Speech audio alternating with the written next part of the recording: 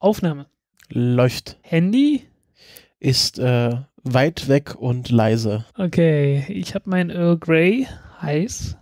Natürlich. Ich habe hier die gute Thomas Henry Mate Mate, die mir ganz gut schmeckt. Kann man hier mal äh, ein bisschen Werbung machen, werden wir aber trotzdem nicht für bezahlt. Oh. Und schniefst du noch oder niest du schon? Ich äh, schniefe nur noch, aber niese nicht mehr. Hoffentlich. Für alles andere gibt es ja den Mute-Button. Genau, so ähnlich geht es mir auch. Also ich habe die letzten zwei Tage erheblich mehr Zeit als üblich im Bett verbracht. Aber irgendwie so, so heute, jetzt geht's langsam. Also ja. Also nichts Falsches im Bett zu liegen. 12, 11, 10, 9. Ignition sequence starts. 6, 5, 4, 3, 2, 1, 0. All engine running.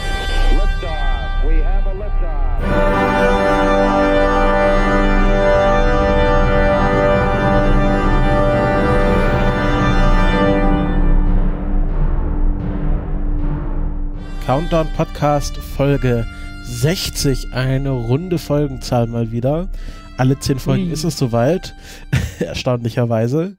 Ich begrüße bei mir den leicht angeschlagenen, aber nichtsdestotrotz super motivierten Frank. Hallo Frank. Hallo Christopher. Ja, nur noch sechs Folgen und wir haben die nächste Schnapszahl. Yay!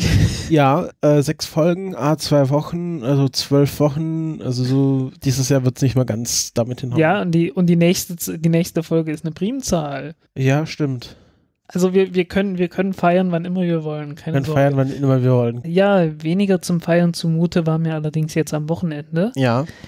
Weil da habe ich leider erfahren, dass der Detlef Breitenbach, auch bekannt als Black Mac 42, äh, leider gestorben ist. Gehörte zu den Leuten, die ganz am Anfang, als wir hier noch in sehr kleinen finnischen Clubs gespielt haben, den, äh, den Podcast weiterverbreitet hat auf Twitter.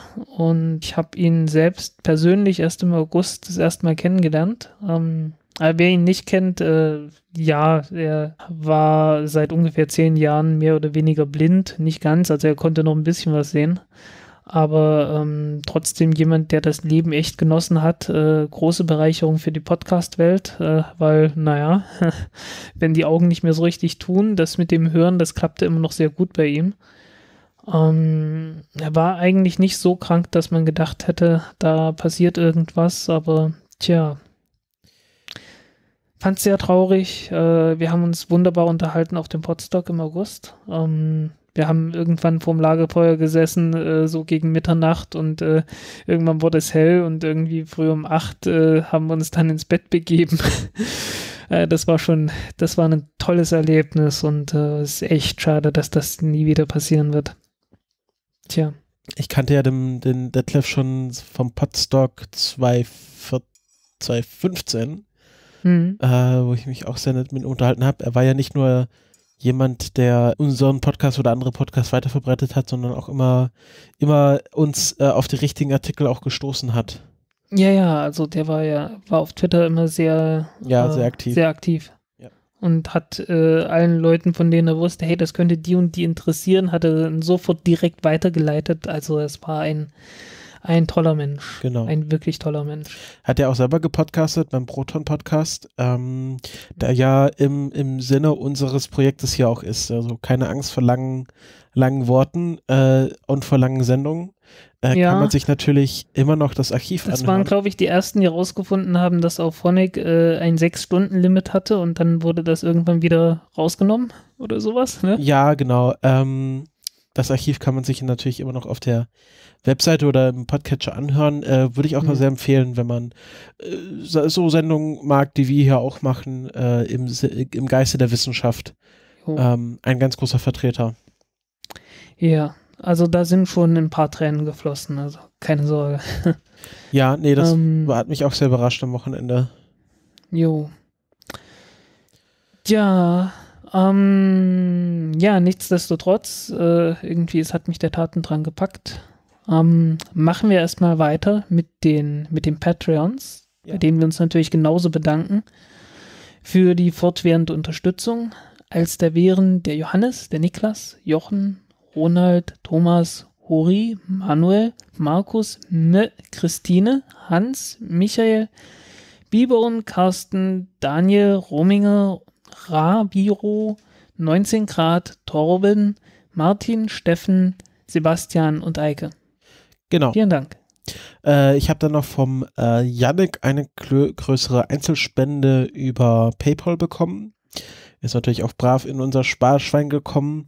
Und der Chino, in Klammern Tom, hat mir anscheinend auch ein Päckchen geschickt, was ich noch nicht äh, von Hermes ähm, ergattern konnte sozusagen. Ähm, am Freitag kann ich es dann abholen. Bin sehr gespannt, was er mir da geschickt hat, aber ich denke mal, es ist äh, äh im, im, im Zusammenhang mit äh, Countdown, weil er hört gerade äh, alle Folgen, so wie das hier durch ist, jetzt erst bei Folge 40. Äh, anscheinend gibt es Leute, die das tatsächlich von Anfang an äh, durchhören, unser Archiv. Ich kann das ja nicht Ja. ganz verstehen, weil wir doch sehr aktuell sind, aber Ich, ich bin halt niemand davon ich bin aber abhalten. auch ein Mensch. Ja, aber ich bin auch ein Mensch, der, wenn, wenn er einmal irgendwie so einen Podcast hat, dann, dann fange ich nochmal von ganz von vorne an oder so. Das passiert mir auch, ja. Ich kenne das. Ja. Also ich, ich verstehe das, ich verstehe das auch nicht, wieso das jemand bei diesem Podcast hier machen sollte, aber irgendwie, äh, ich glaube, die Leute, die die Podcasts machen, die ich dann so höre, denen geht das genauso. Die verstehen das auch nicht, wieso das jemand tun wollte. Also ja, da besteht Parität. Äh, genau, das soll es auch. Äh, achso, ja, LiberaPay ähm, Experiment äh, jetzt erstmal geht noch weiter. Ähm, Spenden sind jetzt, haben sich jetzt nicht groß verändert, der Betrag, aber es tröpfelt stetig. Und äh, bin immer noch sehr zufrieden damit. Also Ja. dort äh, seid ihr immer noch angehalten, äh, uns über LiberaPay zu spenden äh, und vielleicht auch von Patreon darüber zu wechseln. Mhm. Ähm, könnt ihr bei gleichem Betrag mehr, uns mehr unterstützen. Ganz einfach Ja. gesagt. Übrigens, wer äh, Rollenspiele mag äh, und vielleicht Ja. schon mal von Puerto Partida was gehört hatte, ähm, bei der aktuellen Ausgabe von Puerto Partida äh, bin ich dabei gewesen. Ja, ich habe schon, ich hab schon viel Gutes gehört über die Folge. Noch nicht dazu gekommen, mal gehört, mal reinzuhören oder naja. Äh, Ähm. ja, du weißt doch, ich habe so einen, so einen tiefen Podcatcher. Da muss Ja, ich erstmal ja. hochkommen. Ja, sonst äh, gibt es keine Hausmeistereien zu erledigen, glaube ich, soweit. Äh, den Rest werden wir dann am Ende machen, wenn mir während der Folge noch was einfällt. Aber Frank, äh, du hast, hattest mich schon im Vorgespräch drauf äh, drum gebeten, dass du gleich ein Thema zu Anfang machen äh, darfst, Genau. kannst, weil es dir unter den Nägeln brennt. Naja, nö, weil ich mich einfach gerade damit auseinandergesetzt hatte und wenn ich dann mit anderen Themen erst anfange, dann äh, muss ich erst wieder rumkramen im Kopf, Mensch, wie war das gleich nochmal? Äh, weil, ja, also Space News äh, hat einen Artikel gebracht, ähm, dass das Verbot von Hydrazin äh, zwei Milliarden Euro kosten könnte der europäischen Weltraumindustrie. Und wird ja schon seit einer Zeit äh, diskutiert, dass man Hydrazin verbieten möchte wenn es irgendwie geht. Ähm, Hydrazin ist ja ein ziemlich äh, giftiges Zeugs, auch wenn es ein toller, toller Treibstoff ist für Raketen. Wird, also, und äh, so wie ich das verstanden habe, geht es hier um reines Hydrazin. Also nicht um Monomethyl oder Dimethyl oder sonst irgendwas, sondern reines äh, Hydrazin, ähm, das in Satelliten benutzt wird, um dort äh, ja, um dort ähm, ganz äh, einfache äh, Raketentriebwerke zu haben, mh, die nur, also wirklich nur Hydrazin brauchen. Also Monopropellant nennt sich das Ganze, also, ein Einzel also nur eine Komponente und nicht zwei, die dann halt mit einem Katalysator zerlegt werden und also chemisch zerlegt werden und äh, ja, dadurch dann halt die Hitze erzeugen und, und äh, ja, halt das, das ganze Ding betreiben. Dazu braucht man praktisch äh, im im einfachsten Fall braucht man wirklich bloß äh, einen Hahn vom, also irgendein Ventil aufzumachen vom Treibstofftank und dann rauscht das Ding los. Problem dabei ist halt, wie gesagt, das Ganze ist giftig. Und äh, irgendwie aus der Ecke kommt dann die, die Forderung, ähm, man, man möge es doch bitte, man möge es doch bitte sein lassen und stattdessen Alternativen benutzen. Und äh, von Alternativen hat man immer mal so ein bisschen was gehört, wurde ab und zu mal getestet in einzelnen, in einzelnen Raketen und so weiter. Äh, irgendeine Dragon-Mission hatte sowas oder sollte sowas auch mitnehmen. Ähm, aber ich kannte so nicht so richtig die Details. Wie sich herausstellt, habe ich auch nicht alle Details gekannt von Hydrazin, äh, von Hydrazintriebwerken. Ähm, also da ist tatsächlich noch ein bisschen mehr als nur der Katalysator drin. Ähm, der Katalysator kann außerdem noch beheizt werden. Und im Allgemeinen wird das auch getan, äh, weil die Kaltstarts wohl offensichtlich mh, ähm, ziemlich belastend sind für den, für den äh, Katalysator.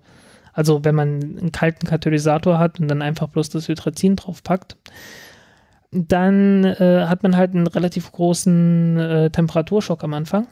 Und äh, schätze ich mal, dass daran liegt. Also jedenfalls, äh, wenn man sich bei den Herstellern die, äh, die Datenblätter anschaut, dann steht dann da, okay, dieses Triebwerk ist für äh, maximal 10 Kaltstarts qualifiziert oder irgend sowas. So heißen, der Normalfall ist, dass der Katalysator erstmal vorgeheizt wird, bevor das reinkommt. So, und äh, wie man sich vorstellen kann, quatsche ich davon äh, hauptsächlich deshalb, weil äh, das jetzt gleich eine Rolle spielen wird. Ähm, die Alternativen zu Hydrazin äh, heißen einmal HAN und ADN. Das eine ist, also ADN ist Ammoniumdinitramid und HAN ist Hydroxyl, Hydroxylammoniumnitrat. Beides äh, Stoffe, die eigentlich fest sind. Ähm, das ist nun witzigerweise auch beim, auch beim Hydrazin nicht viel anders. Also Hydrazin ist zumindest bei den Umgeb bei den typischen Umgebungsbedingungen äh, im Weltraum dann doch eher fest. Also hat so einen Schmelzpunkt von zwei Grad, glaube ich. Also muss dann, also die, die Tanks müssen dann auch irgendwie, äh, ja, zumindest warm gehalten werden ein bisschen. Ähm, entweder indem man Heizer hat, also irgendein Heizelement im Tank oder äh, man muss halt zusehen, dass man den Tank immer ein bisschen Richtung Sonne aus, äh, ausgerichtet hat und nicht gerade im Schatten hat, so dass sich halt, also man muss halt irgendwie dafür sorgen, dass die Temperatur äh, entsprechend geregelt ist, damit das Zeug da drinnen flüssig ist und man, und man das Ganze halt pumpen kann.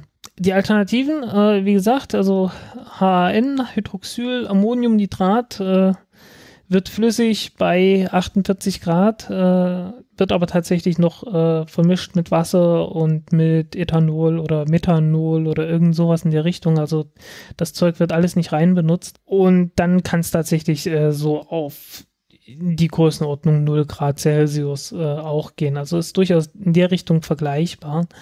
Und äh, wenn man sich das ADN anschaut, äh, dann ist der Schmelzpunkt noch ein Stück höher, aber ist das gleiche, ist praktisch der, das gleiche in Grün, äh, dass man das halt mit äh, 35 Prozent äh, Wasser und Methanol oder irgendwas in der Größenordnung ähm, vermischt. Also ja, so der größte Teil ist dann halt ADN und der Rest ist dann noch irgendwas anderes, damit das ganze Zeug halt flüssig wird und flüssig gehalten wird. Ja, witzigerweise bei ADN habe ich jetzt äh, habe ich jetzt gesucht äh, und das wird auch für als Ersatz äh, in äh, in Feststoffraketen vorgeschlagen. Also ja. Ja, äh, was irgendwie, äh, ich fand das irgendwie ganz putzig, dass man halt, äh, dass man dann halt etwas, das eigentlich so ein typischer Einsatzbereich für Flüssiges ist, dann auch gleichzeitig als Ersatz für Feststoffraketen mit benutzt, äh, indem man halt, äh, ja, indem man halt irgendwie dafür sorgt, dass der, dass der Schmelzpunkt dann wohl, also Schmelzpunkt von knapp 100 Grad ist jetzt nicht so schlimm, dass man den, dass man, dass das Zeug sich mal eben verflüssigen würde von alleine praktisch als Ersatz für das übliche Ammoniumperchlorat, was ja den größten Teil von, ähm, von Feststoffraketen ausmacht und was dafür sorgt, dass man ziemlich viel Salzsäure da hinten rausschmeißt. Und das wäre in dem Fall halt nicht so, äh, weil Ammoniumdinitramid äh, ja besteht halt nur aus Stickstoff, äh, Sauerstoff und Wasserstoff. Und ja, da, da ist, ist kein Chlor drin. Äh, entsprechend äh, ist dann das Abgas entsprechend sehr viel weniger, äh, sehr viel weniger giftig. Äh, allerdings äh, habe ich noch nichts gesehen, dass das irgendwer in größerem Maßstab benutzen würde. Die Stoffe wurden übrigens zuerst in der Sowjetunion äh, entdeckt, in den 1970er Jahren, und dann wurden sie als Staatsgeheimnis behalten. bis dann die Amerikaner Ende der 80er Jahre selber mal was gefunden haben in der gleichen Richtung. Dann äh, ja, war es dann halt nicht mehr so geheim. Ne? Also war die, war die Katze einmal aus dem Sack. Ich habe mehrere Fragen dazu. Ja, war auch noch nicht durch, aber frag mal. Ja, nee, bevor du weiterredest. Ähm, also genau. benutzt das jemand schon? Also dieses Ammonium äh, Dinitramid. ADN und HN. Ha- ADN. Nein, nein, nein, wir sagen das schon richtig. Und Hydroxylammoniumnitrat. Eh, Testweise halt. Testweise, okay. Kannst du was Also Konkretes so- sagen? Irgendwie ein konkretes Projekt? Oh, es, es gab diverse. Ich habe ich hab bloß so ab und zu mal welche gesehen, äh, halt wirklich so einzelne. Also ich, ich habe noch nicht gehört irgendwie, dass ein, ein Satellitenbauer gesagt hätte, hey, wir bauen nur noch äh, Satelliten, die das benutzen. Äh, also Ja. überhaupt nicht, ne? Und jetzt heißt es plötzlich, ja, bis 2021 wollen wir das verbieten, wollen wir äh, Hydrazin verbieten und dann nur noch damit. Äh, Jungs, so wird das nix. Ne? Also die, die Alternative ist irgendwie noch nicht so ganz, noch nicht so ganz spruchreif. Es ist halt, wie gesagt, es ist eine furchtbar, wie wir schon oft, öfter gesagt haben, es ist eine furchtbar konservative Branche. Und da wird man meistens, also da muss man schon einiges vorweisen, dass das Ganze auch sehr, ähm, sehr zuverlässig ist, äh, bevor die, bevor die Industrie da sagt, okay, das nehmen wir. Äh, zweite Sache, ähm, du hattest letztes Mal in den Shownotes äh, mir so eine schicke Seite zum Verlinken gegeben, nämlich Pub, PubChem, Pub, PubChem, PubChem, PubChem ja? vom äh, von US National Library of Medicine. Finde ich ja sehr lustig, die Seite. Das ist so ein bisschen besseres Wikipedia für Chemie. Äh, Ich, ja. kan ich kannte die gar nicht, weil ich finde sehr lustig, dass es dann immer einen Eintrag Vendors gibt, wo man dann gleich schauen kann, wo man die entsprechende Chemikalie kaufen kann. Ja, ja, ja. Ähm, Ja. Ist manchmal auch ganz witzig. Ähm, egal. Äh, dritte Äh, Sache. Dritte Sache. Äh, mir ja? ist eingefallen, ich habe einen Artikel hier abgespeichert ähm, äh, von Parabolic Arc, wo es darum geht, dass ähm, die ESA jetzt ja Teil des ersten komplett elektrischen Satelliten ist, nämlich Eutelsat 172b, ähm, der vor kurzem äh, gestartet wurde. Genau. Und der ja ähm, mit den äh, mit Ionentriebwerken funktioniert, die an so einem Teleskoparm angebracht sind, was ich ganz interessant finde, dass man die noch viel besser ausrichten kann, äh, quasi auf die Masse, auf die auf Center of äh, Ma Massencenter des Äh, verdammt. Ähm, ähm, Satelliten. ähm, Ja. kann, ich, kann ich dich mal hier kurz äh, abwürgen und Okay. äh, sagen, ähm, sprich das nachher gleich nochmal an. Okay. Da kannst du mich Ja. nochmal anstechen und dann, Ja. dann reden wir darüber. Gut, dann lasse ich dich jetzt erstmal weiterreden. Ist natürlich schon was hier mit äh, Ionentriebwerk, könnte man vielleicht äh, das Hydrazin teilweise damit einfach ersetzen. Ähm, ist ein Gedanke. Äh, ich weiß nicht, wie, wie praktikabel das in, in allen Einzelfällen ist. Äh, weiß ich halt nicht. Wär, ist auf jeden Fall eine Überlegung wert. Ähm, ja, jedenfalls, äh, ja, es ist halt alles noch nicht so richtig, noch nicht so richtig gut erprobt. Ähm, äh, vor allen Dingen ist das Problem sowohl mit HDN als auch mit HAN, also mit, äh, mit Ammonium. Also, ja, ich Dinitramid. muss selber nochmal nachgucken. Äh, Ammoniumdinitramid und Hydroxyl. Äh, Hydroxylammoniumnitrat äh, ist halt, dass man, äh, äh, dass man die erheblich weiter aufheizen muss, bevor die, bevor die Katalysatoren so richtig äh, äh, wirken können. Und äh, ja, das ist halt ein Problem. Also man, man muss den, dann diese Katalysatorbetten vorheizen, man muss, wenn es sein muss, auch noch den, äh, den Treibstoff ein bisschen vorheizen, aber du kannst gleichzeitig auch nicht sagen, ja, wir heizen einfach den, den Treibstoff so weit vor, äh, die Tanks einfach so weit vor, dass die immer so entsprechend äh, warm sind, weil dann fängt das Zeug sich an zu, zu zersetzen von alleine. Also du kannst das wirklich erst so kurz vor dem Einsatz dann aufheizen und äh, alles sowas halt, ne? Also da, da ist noch einiges an Entwicklungsarbeit eigentlich nötig, so wie ich das jetzt äh, in den letzten, ich weiß nicht, ein, zwei Stunden, wo ich mir, mir da so ein bisschen Zeugs zu durchgelesen habe, gesehen habe, äh, da ist noch einiges an Entwicklungsarbeit eigentlich zu tun, bevor das so richtig ordentlich ausgereift, spruchreif ist. Und hätte jetzt die ESA gesagt, äh, wir starten ein riesengroßes Testprogramm und äh, jetzt kommen hier jede, alle ein, zwei Monate kommen, kommen Satelliten da hoch, die das Zeug benutzen, damit dann jeder sieht, okay, das funktioniert oder das und das funktioniert noch nicht oder was auch immer. Äh, und das wäre ja im Prinzip durchaus möglich, ne? Also wäre ja ein sehr einfacher Satellit dann würde ich mal denken. Wahrscheinlich bin ich jetzt etwas sehr naiv. Äh, aber irgendwie, dass man ernsthafte Testplattform dafür hat und das demonstriert hat, okay, das und das funktioniert. Das wäre so das Mindeste, was ich da erwarten würde. Und so ganz sehe ich das noch nicht. Also, dass man wirklich so eine, eine also halt so richtig Tests äh, serienweise, so dass man da wirklich äh, überzeugend sagen kann, hier, das ist ausgereifte Technik, das funktioniert. Weil an sich klingt das alles super, ne? Der spezifische Impuls ist besser, die Dichte ist besser, äh, soll heißen, ähm, man kriegt aus der gleichen Masse mehr Schub raus. Ne? Also äh, spezifischer Impuls ist ja letzten Endes einfach bloß Treibstoffverbrauch von der Rakete. Ne?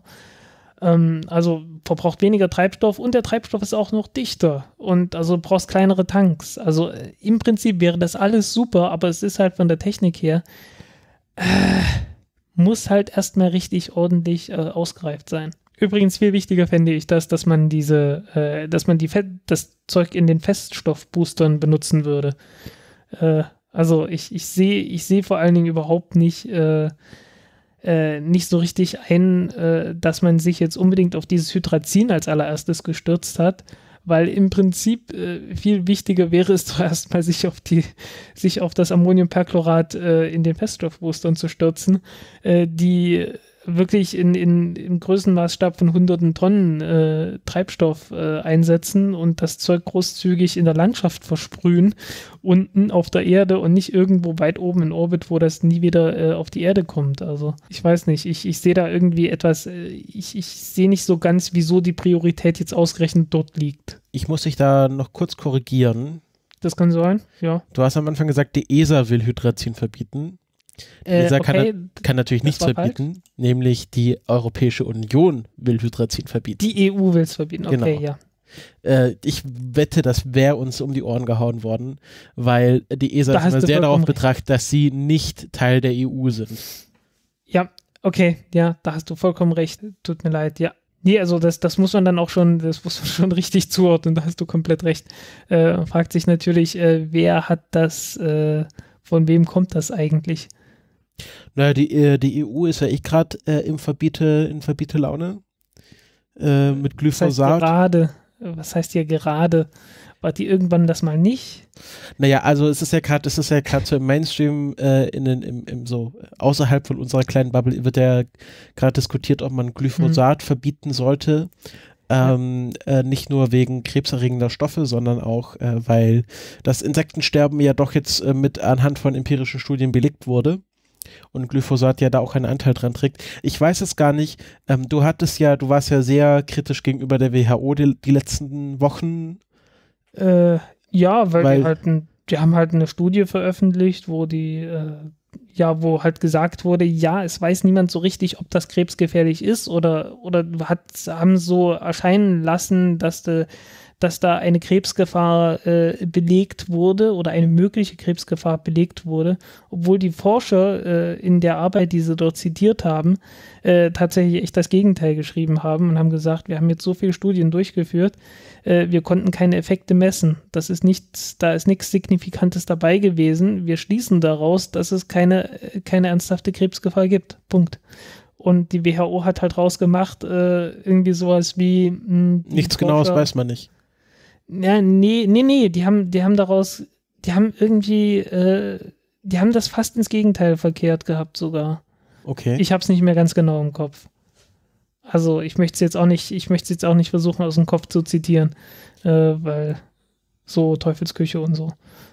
Ja, aber da ging es ja jetzt ja nur um krebserregend. Äh, Da ging es ja nicht um Insektensterben. Das ist ja nochmal ein anderer, anderer Ja, Aspekt von Insektensterben ist, bei Insektensterben und Glyphosat weiß ich nicht. Äh, wie weit das zusammenhängt, hatte ich so noch nicht gesehen. Ich, ich sehe halt beim Insektensterben vor allen Dingen, äh, dass die Felder, die ich kenne, so aus der Heimat, äh, dass die äh, ihre Randstreifen verloren haben, dass die ihre Feldwege ver verloren haben und halt äh, alle Ecken verloren haben, wo, wo früher mal Pflanzen gestanden haben. Äh, ja, ne, also ich, ich sehe halt, ich habe halt eine ganze Menge Ecken gesehen, wo früher mal äh, deutlich mehr Pflanzen gestanden haben, die auch sehr divers waren, wo dann auch viele Insekten waren äh, und die jetzt halt nicht mehr sind. Ja klar, es hat natürlich wahrscheinlich viele Faktoren. Weil, weil halt, weil halt einfach äh, Felder umgepflügt wurden, weil äh, ja, Ackerland ist ganz plötzlich sehr, sehr teuer geworden. Also äh, das ging bei uns so weit, dass in einigen Dörfern dann äh, die Bauern äh, so, so selbstgemalte, äh, selbstgemalte Plakate hatten, äh, Ackerland hier zu verkaufen und so. also das war wirklich extrem. Also das, das hat man ja sonst noch nie gesehen, dass, dass irgendwie die Leute hier mit, mit Plakaten versuchen, ihr Land zu verkaufen, weil es halt gerade sehr teuer ist, ne? Mhm. Das war, das war jetzt so um die so na 2009 oder so um die Ecke rum, als das halt äh, alles hochkam, weil ja, weil man halt äh, gerade so so mit dieser Erdölkrise, also als, das, als die Ölpreise so in Richtung 100 und 150 Dollar pro Barrel gegangen sind, da hat man ja angefangen, äh, Biodiesel und Bioethanol bis zum geht nicht mehr zu, äh, zu produzieren. Und äh, da schossen ja dann die äh, Ackerpreise entsprechend hoch und äh, da man die Produktion seitdem auch nicht mehr gesenkt hat, äh, ist halt die Nachfrage erhalten geblieben und die Preise sind entsprechend immer noch genauso hoch. Die Bauern bebauen das immer noch genauso. Und äh, entsprechend äh, hat man halt äh, viel umgepflügt und das nicht wieder der Natur zurückgegeben. Und naja, dann, dann fehlt halt was. Ne? Ist klar, wo, wo, wo sollen dann die Insekten sein? Weil auf dem Feld äh, Weizen, Raps, naja, Raps noch so ein bisschen, aber es ist halt nicht wirklich was Diverses. Ne? Wo dann viele, wo dann über längere Zeit äh, ständig irgendwas da ist, das die Insekten zu fressen hätten ist dann halt, okay, der, der Raps, der blüht, der, der blüht halt irgendwie mal. Äh, es wird keine Insekten geben, die den Raps selber fressen, weil dann haben die Bauern was dagegen. Ne? Mhm. Also von daher ist das alles ziemlich neutral. Äh, Mais ist genau derselbe Spaß, ne? Also mh. ist halt alles sehr, sehr schlecht dafür. Und, Sogenannte äh, Maiszünsler. Ja, okay, der, das ist so ziemlich der Einzige, der sich da freut und selbst da haben die Bauern was dagegen. Also und zwar nicht nur was dagegen im metaphorischen Sinn, sondern äh, auch, auch entsprechende was. Insektizide und so. So nach dem Motto, äh, ich habe nichts gegen Nazis, äh, jedenfalls nichts Wirksames. Genau. Ja. Genau, irgend sowas. Ähm, ja, äh, wie, wie kriegen wir jetzt den Bogen wieder zurück zu Hydrazin?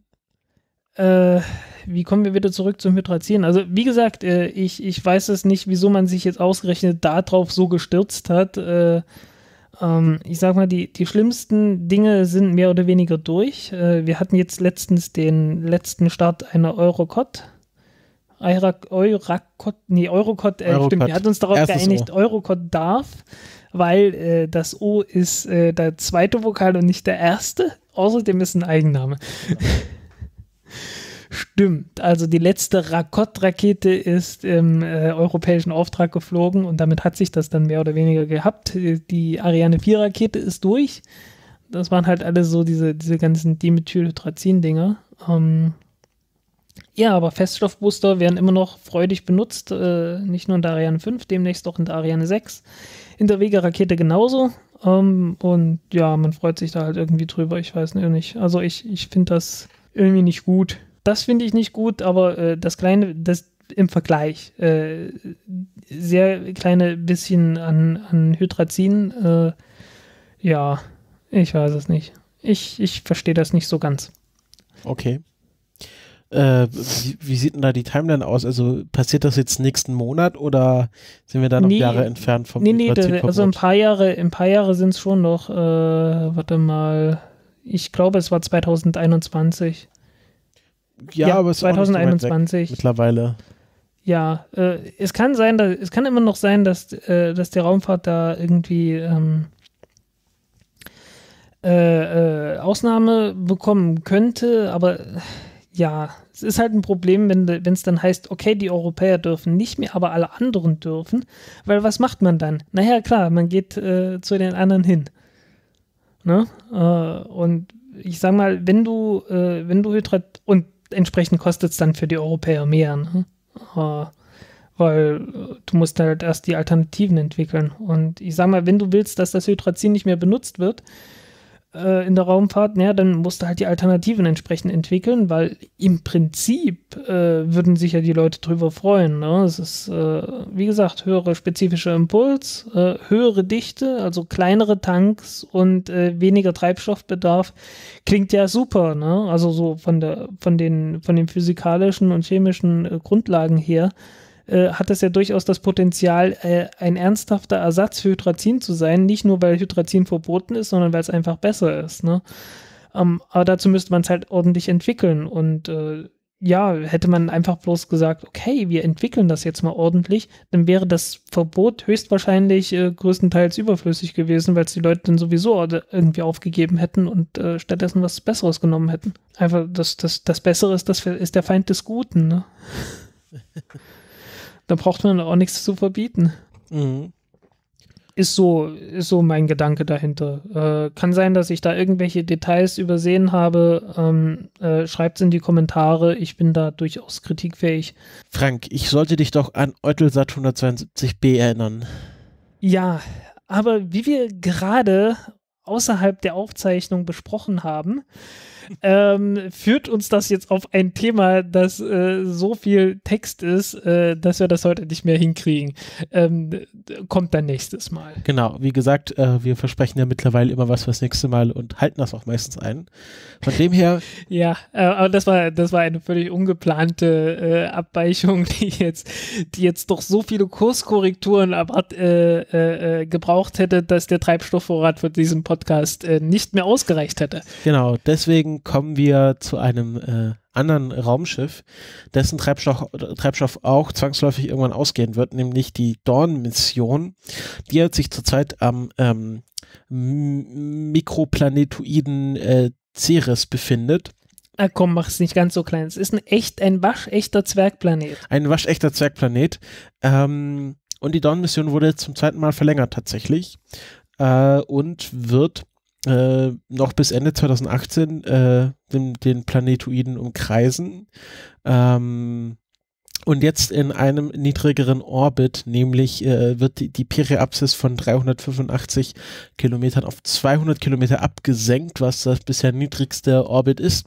Und in dem wird äh, der, der Satellit Orbiter ähm, auch auf unbestimmte Zeit bleiben, weil man hat beschlossen, ihn einfach weiter kreisen zu lassen, äh, wenn das Hydrazin ausgeht und ihn nicht. Äh, Hydrazin, äh, soweit ich weiß, Oder benutzt das Ding tatsächlich ein Ionentriebwerk äh, für so ziemlich alles. Moment. Oder das Allermeiste.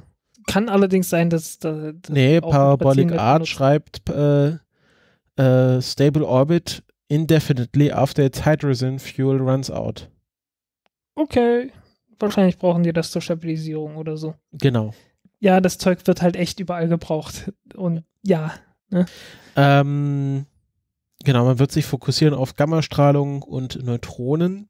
Und äh, ja, das war, das war schon eigentlich äh, der ganze Nachrichtenwert an dieser ganzen Sache.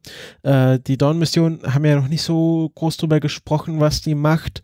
Das war so ein bisschen äh, immer diese Geschichte mit dem, mit den Chem äh, Chemtrail-Pyramiden auf Ceres, ähm, wer sich daran genau. erinnert. Ja, das ja. war halt, dass die, die, diese, diese, diese Ankunft auf Ceres, das war so ein bisschen im Windschatten von New Horizons damals damals, das erinnere ich mich noch. Da haben wir immer nur Horizons geredet und dann auch immer so als, als Wurmfortsatz auch über, über die Dawn-Mission, weil die so äh, ähnlich gleichzeitig äh, irgendwas gemacht haben, aber Dawn wesentlich unspektakulärer war. Ja, ähm, ich glaube, das war, war das nicht sogar vor unserer Zeit? Nee, äh, nee, nee, nee, die, nee. Die Hauptzeit, also ich weiß, dass wir auf Twitter da sehr viel rumgescherzt. Ja, okay, wenn wir auf Twitter sehr viel rumgescherzt haben, dann muss das schon während der Zeit gewesen sein. Es genau. war halt, es ist halt so, dass das Dawn ist ja das einzige, äh, einzige terrestrische Schiff, was äh, um zwei extraterrestrische Objekte ge gekreist ist, nämlich äh, 2011, 2012 um äh, den ähm, Asteroiden Vesta, Vesta und genau. äh, jetzt äh, dann seit 2015 äh, um Ceres. Und äh, ähm, das war wahrscheinlich vor unserer Zeit. Also diese ganze Vesta-Geschichte war weit, weit genau. vor unserer Zeit. Genau. Und ja, ich kann mich halt bloß noch an diese Annäherung erinnern. Äh, ja, mit diesen weißen ja Flecken was total, was total spektakulär ist, also äh, gewesen ist. Ähm, weil davor hatte man halt äh, so Hubble-Aufnahmen von Ceres gehabt, was total verwaschen war. Äh, logischerweise, weil das Ding ist klein und weit weg. Und äh, da gab es so eine Region, die war ein bisschen heller. Ja. So, und jetzt flog das, aber, aber war halt eine große Region, weil es war halt ein matschiger Fleck und das Ding war sowieso alles schlecht aufgelöst und so und äh, ja, hat man sich nicht viel bei gedacht. Und dann flog das Ding da immer näher ran und äh, ja, dieser Fleck, also so nach und nach wurde die Auflösung natürlich besser, weil äh, die, die Raumsonde halt langsam da rankam und bessere Auflösung liefern konnte als das Hubble-Teleskop. Und dieser Fleck wurde immer kleiner und im Vergleich zum Rest immer heller. Und äh, äh, das war durchaus, also äh, ja, das war durchaus witzig. Ähm, und ja, am Ende waren es halt dann irgendwie in einem Krater, also wirklich bloß in der Mitte von einem Krater war dann praktisch ein richtig heller Fleck.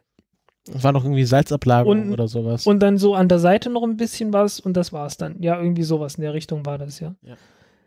Ähm, ich habe damals noch gescherzt, immer, also bis zum Beweis des Gegenteils ist das erstmal ein Alien-Raumschiff, ja, ja, eine Alien-Basis auf Ceres. hatten wir ja auch im Podcast besprochen. Wir, eine Folge heißt ja Chemtrail-Pyramiden auf Ceres. Genau, okay. Wir haben ja gesagt, da kommt, da kommt, wird, wird das Chemtrail gelagert, was dann hier auf Ja. der Erde versprüht wird.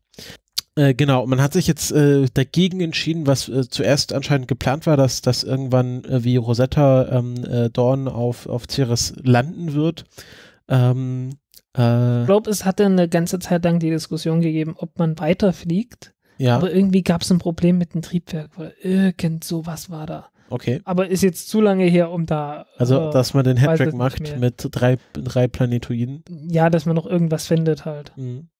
Ähm, so ähnlich wie man es mit New Horizons gemacht hat. Was ja mag- auch so eine, was ja, ja, ja, oder noch macht, besser gesagt, äh, ankommen wollen sie in etwas mehr als einem Jahr. Ähm, äh, was natürlich auch so ein Wahnsinnsding war, ne? Während das Ding noch unterwegs war, hat man beschlossen, ja, wir suchen dann mal nach weiteren Zielen. Man wusste gar nicht, ja, wo, wo fliegen wir denn eigentlich als nächstes hin und hat dann 2014 erst einen entdeckt mit einem Hubble Space Teleskop, der zufällig so ungefähr in der richtigen Richtung war. War das nicht so ein Riesending, dass wir das jetzt erst beobachtet haben? Da war doch was, dass, dass dieses Kuiperbelt-Objekt, äh, nee, nee, das ist ein anderes. das war was anderes. Das, Das war ein anderes. Nee, warte, äh, warte. Das war Haumate, glaube ich. nee, nee, nee, nee, nee, nee, nee, nee, nee. Das ist das, das ist das Kuiperbelt-Objekt, was äh, jetzt in New Horizons ansteuert. Und das ist vor so einem Stern hergeflogen. Und ähm, die wollten das natürlich erwischen, wenn das äh, quasi, äh, Nee, nee, nee, nee. Oder, oder, oder habe ich im. wo sie so ganze Städte ausgeschaltet haben, damit die da be bessere Lichtverhältnisse haben.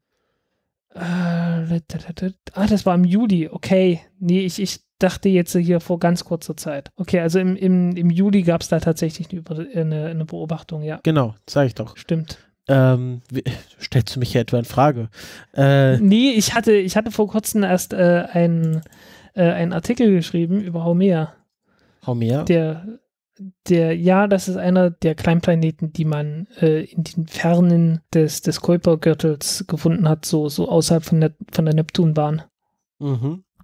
Nee, nee, ich meine das Kuiperbelt-Objekt äh, 9 MU 2014-69, wenn ich mich nicht ohne Ja, ja. nachzuschauen, Ähm, was ja wohl, wohl angenommen wird, dass das irgendwie so ein Doppelding ist, so, so ein, also auf jeden Fall so ein Doppelnukleid hat. Und das war ja ganz lustig, da haben sie sich an der ganzen, ganzen Ostküste irgendwie aufgereiht mit ihren Teleskopen. Die ganzen Straßenbeleuchtungen von den Städten wurden ausgemacht. Und dann haben die da äh, versucht, das zu beobachten, wie wild. Äh, auch, auch äh, recht erfolgreich, wenn ich mich erinnere. Das ist äh, super spannend, dass man da irgendwie, das war auch gleich, ich glaube, das war zu der Zeit auch wiederum zu der Sonnenfinsternis, wo irgendjemand dann so diesen Witz gemacht hat, ja, hier Sonnenfinsternis, aber nicht von unserem Stern, sondern von einem anderen Stern. Das ist, äh, das ist doch sehr spannend. Ja, ich, ich pack mal in, der, in unser Google Doc äh, einen Link mit einem Artikel von mir. Äh, ein Zwergplanet mit Ring. Ah ja, Und äh, da ging es tatsächlich darum, dass man äh, halt bei Homer äh, ja eine, eine Bedeckung äh, beobachtet hat mit zwölf Teleskopen. Und äh, da hat man dann um einen Asteroiden, also man hat halt gedacht, es wäre ein Zwergplanet, aber jetzt sagt man äh, nur noch Asteroid, erstmal sicherheitshalber, ähm, hat man einen Ring entdeckt und ja, konnte das Ding ordentlich vermessen. Also man weiß jetzt, wie groß das ist, also, also was für, was für Abmaße das Ding ungefähr hat. Und die Abmaße sind so, dass das Ding äh, letzten Endes ein sehr ein abgeplattetes Ei ist. Wenn also man sich das wie, äh, wie, ähm, Also nicht, nicht einfach nur ein, also weil ein? Ei, ein Ei ist ja immer noch, äh, ist ja immer noch rund, zumindest in eine Richtung, ne? ja, Und das Ding ist in absolut keine Richtung rund. Meinst du, also das meinst ist du wie Pan, wie, wie der, wie der äh, Saturnmond? Nee, nee, nee, nee, nee, das wäre ja dann, das ist ja wie so ein, wie so, äh, Wie so, wie so ein Unter, Unterflug, unter genau, genau so. Nee, nee, das, das ist ja dann, das ist ja dann immer noch rund, ne? Also so eine fliegende Untertasse ist ja immer noch rund in eine Richtung, ne? Ja. So, nee, das Ding ist elliptisch in allen, in allen drei Richtungen. Aha. Also, ja. Ja, das ist gut. ein sehr merkwürdiges Brauchen Ding. wir vielleicht ein Bild für. Ja, ja. Also äh, stell dir einfach ein Ei vor, dass du so hinlegst, wie es halt normalerweise liegt, ne? Und jetzt machst du das Ei nicht aus au- als Ei, sondern irgendwie aus Silikon oder so, so dass es halt ein bisschen, so dass ein bisschen äh, äh, äh, flummiartig ist. Und wenn du das dann nochmal von oben her drückst, ne, dann ist das ja in drei Richtungen nicht rund. Ja, No? stimmt. So. Also, der, so eine also Form du hat das meinst, du meinst ja, dass das Ei ist, wenn man das quasi wie so ein Frühstücksei aufschneidet, dann ist ja diese Grundfläche rund. Genau. Und genau. die dämmt man jetzt auch nochmal ein. Genau, und die quetscht du dann auch nochmal irgendwie. Spaß mit Eiern. Spaß mit Eiern, genau. Ähm, halt so eine komische Form hat das Ding jedenfalls. Und da hat man dann gesagt, hat man berechnet, okay, diese Form äh, kann durch die Gravitation so nicht zustande gekommen sein. Also da, da ist, also normalerweise ist ja ein Zwergplanet so definiert, ähm, dass die Form des Planeten äh, durch die Gravitation, durch die eigene Gravitation äh, letzten Endes hervorgerufen wird und äh, praktisch die Kräfte äh, von den Partikeln, aus denen das Ding besteht, praktisch keine Rolle mehr spielen. Also man hat so ein, so ein hydrodynamisches Gleichgewicht. Ne? Also wenn das Ding nur aus einer Flüssigkeit bestehen würde, dann würde es ungefähr die gleiche Form haben. Ne? Ja. Also tatsächlich, tatsächlich ist das Zeug alles fest, aber äh, wenn es eine Flüssigkeit wäre, dann würde es ungefähr die gleiche Form haben. Aber das Ding halt nicht. Ne? Und jetzt stellt sich halt die Frage, äh, wie kommt es dazu, dass diese, äh, dass das Ding überhaupt diese Form hat? Weil eigentlich hat das Ding genügend Gravitation, um so im Laufe der Zeit äh, doch diese, durch, doch so ein, so ein hydrodynamisches Gleichgewicht einzunehmen. Und da ist jetzt so ein bisschen, so ein bisschen Spekulation, ob es da, ob es da irgendwie eine Kollision gegeben hat oder so. Ähm, das wäre jedenfalls auch eine Erklärung dafür, dass man da einen Ring gefunden hat. Und äh, witzigerweise ist das nicht der erste Asteroid, den man gefunden hat, der einen Ring hat.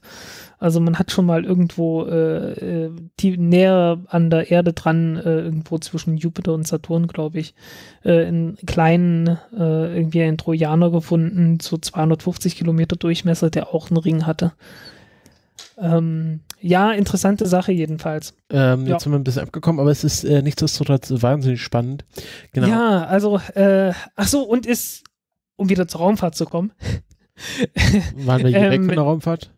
Naja, so ein ganz kleines bisschen, aber wir fliegen sofort zurück, ähm, weil äh, es gab tatsächlich Untersuchungen, äh, was man denn machen könnte, um, um vielleicht sich das Ding genauer anzugucken. Und da gab es, die habe ich auch irgendwo verlinkt, äh, dass man innerhalb von sechs Jahren dahin fliegen könnte, wenn man denn eine Raumsonde baut äh, mit Radionuklidbatterie und einem Ionentriebwerk.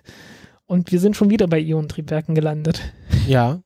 Das ist eine, die, die ganze Sendung wird jetzt ein, ein, ein einziger Teaser für die nächste Sendung, äh, bloß weil wir dieses Ionentriebwerksthema äh, nicht ansprechen wollten.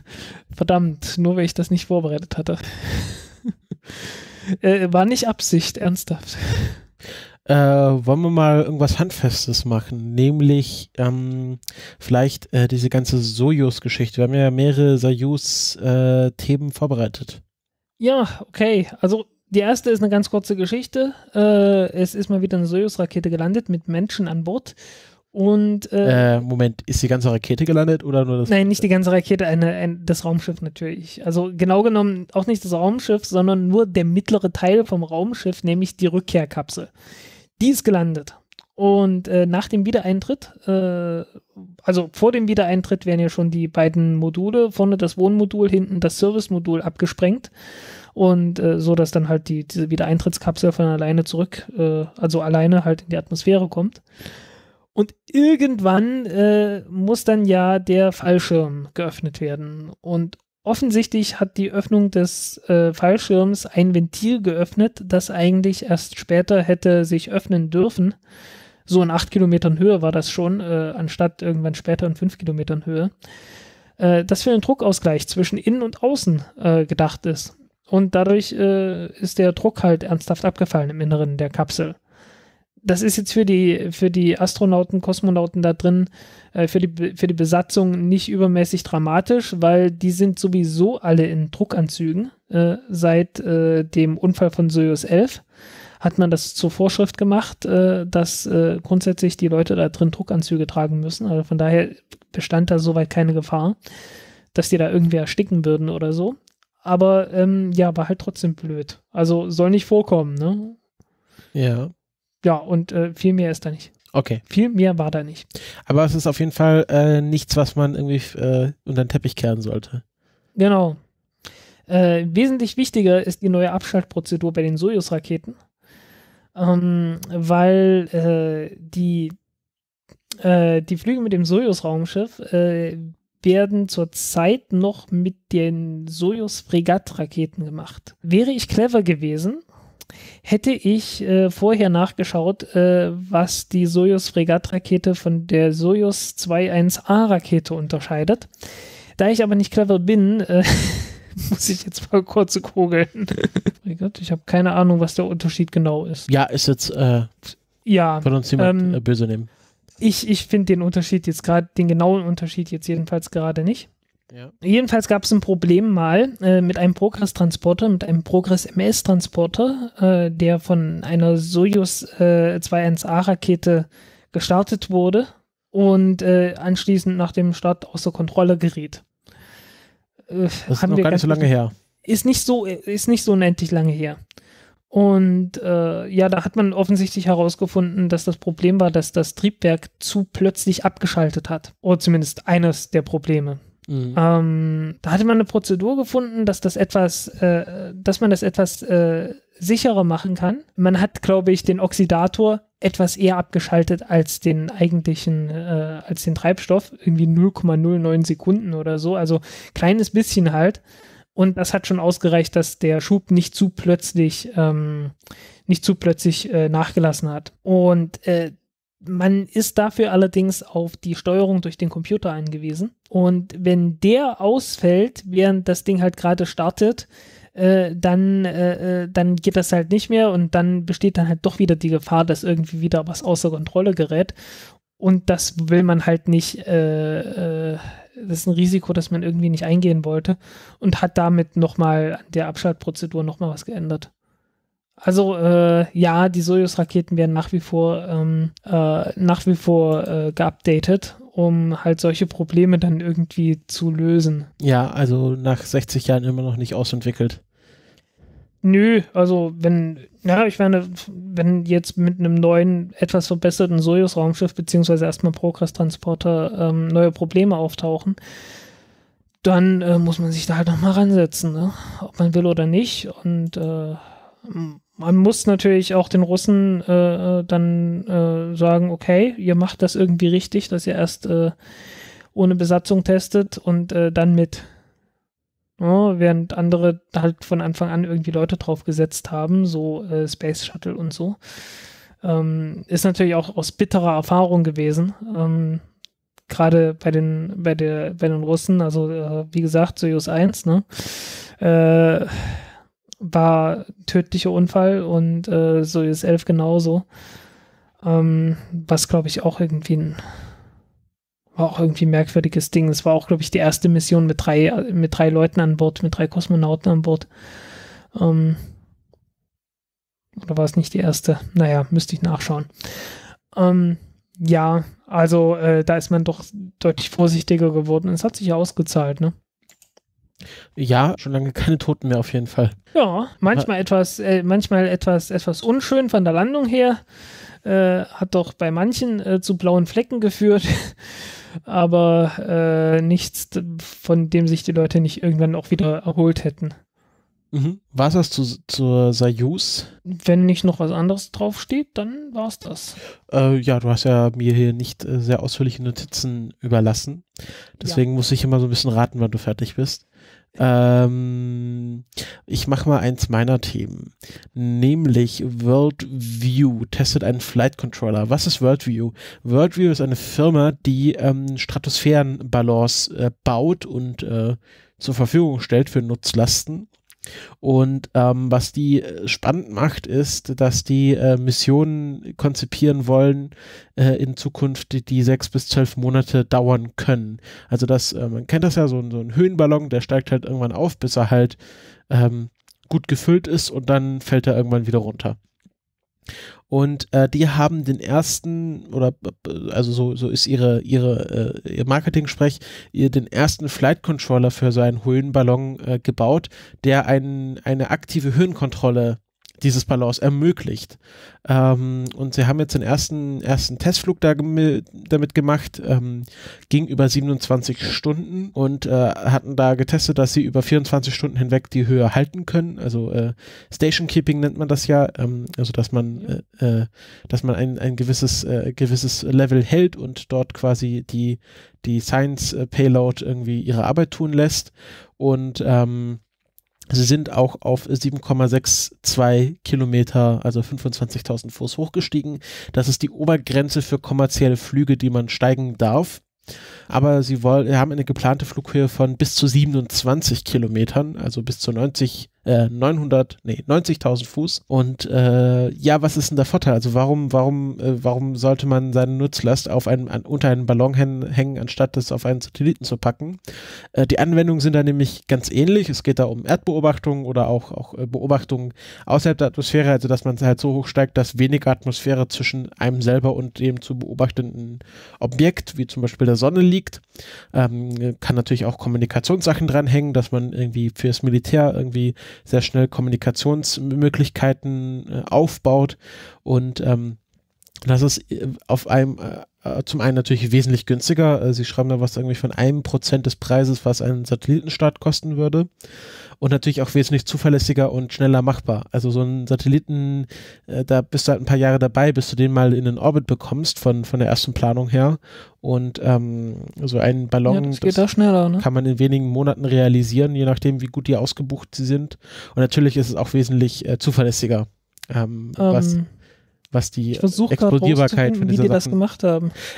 Da, weißt du was, das wollte ich gerade ansprechen. Da steht nämlich nirgendwo, wie sie diese Höhenkontrolle äh, machen. Aha.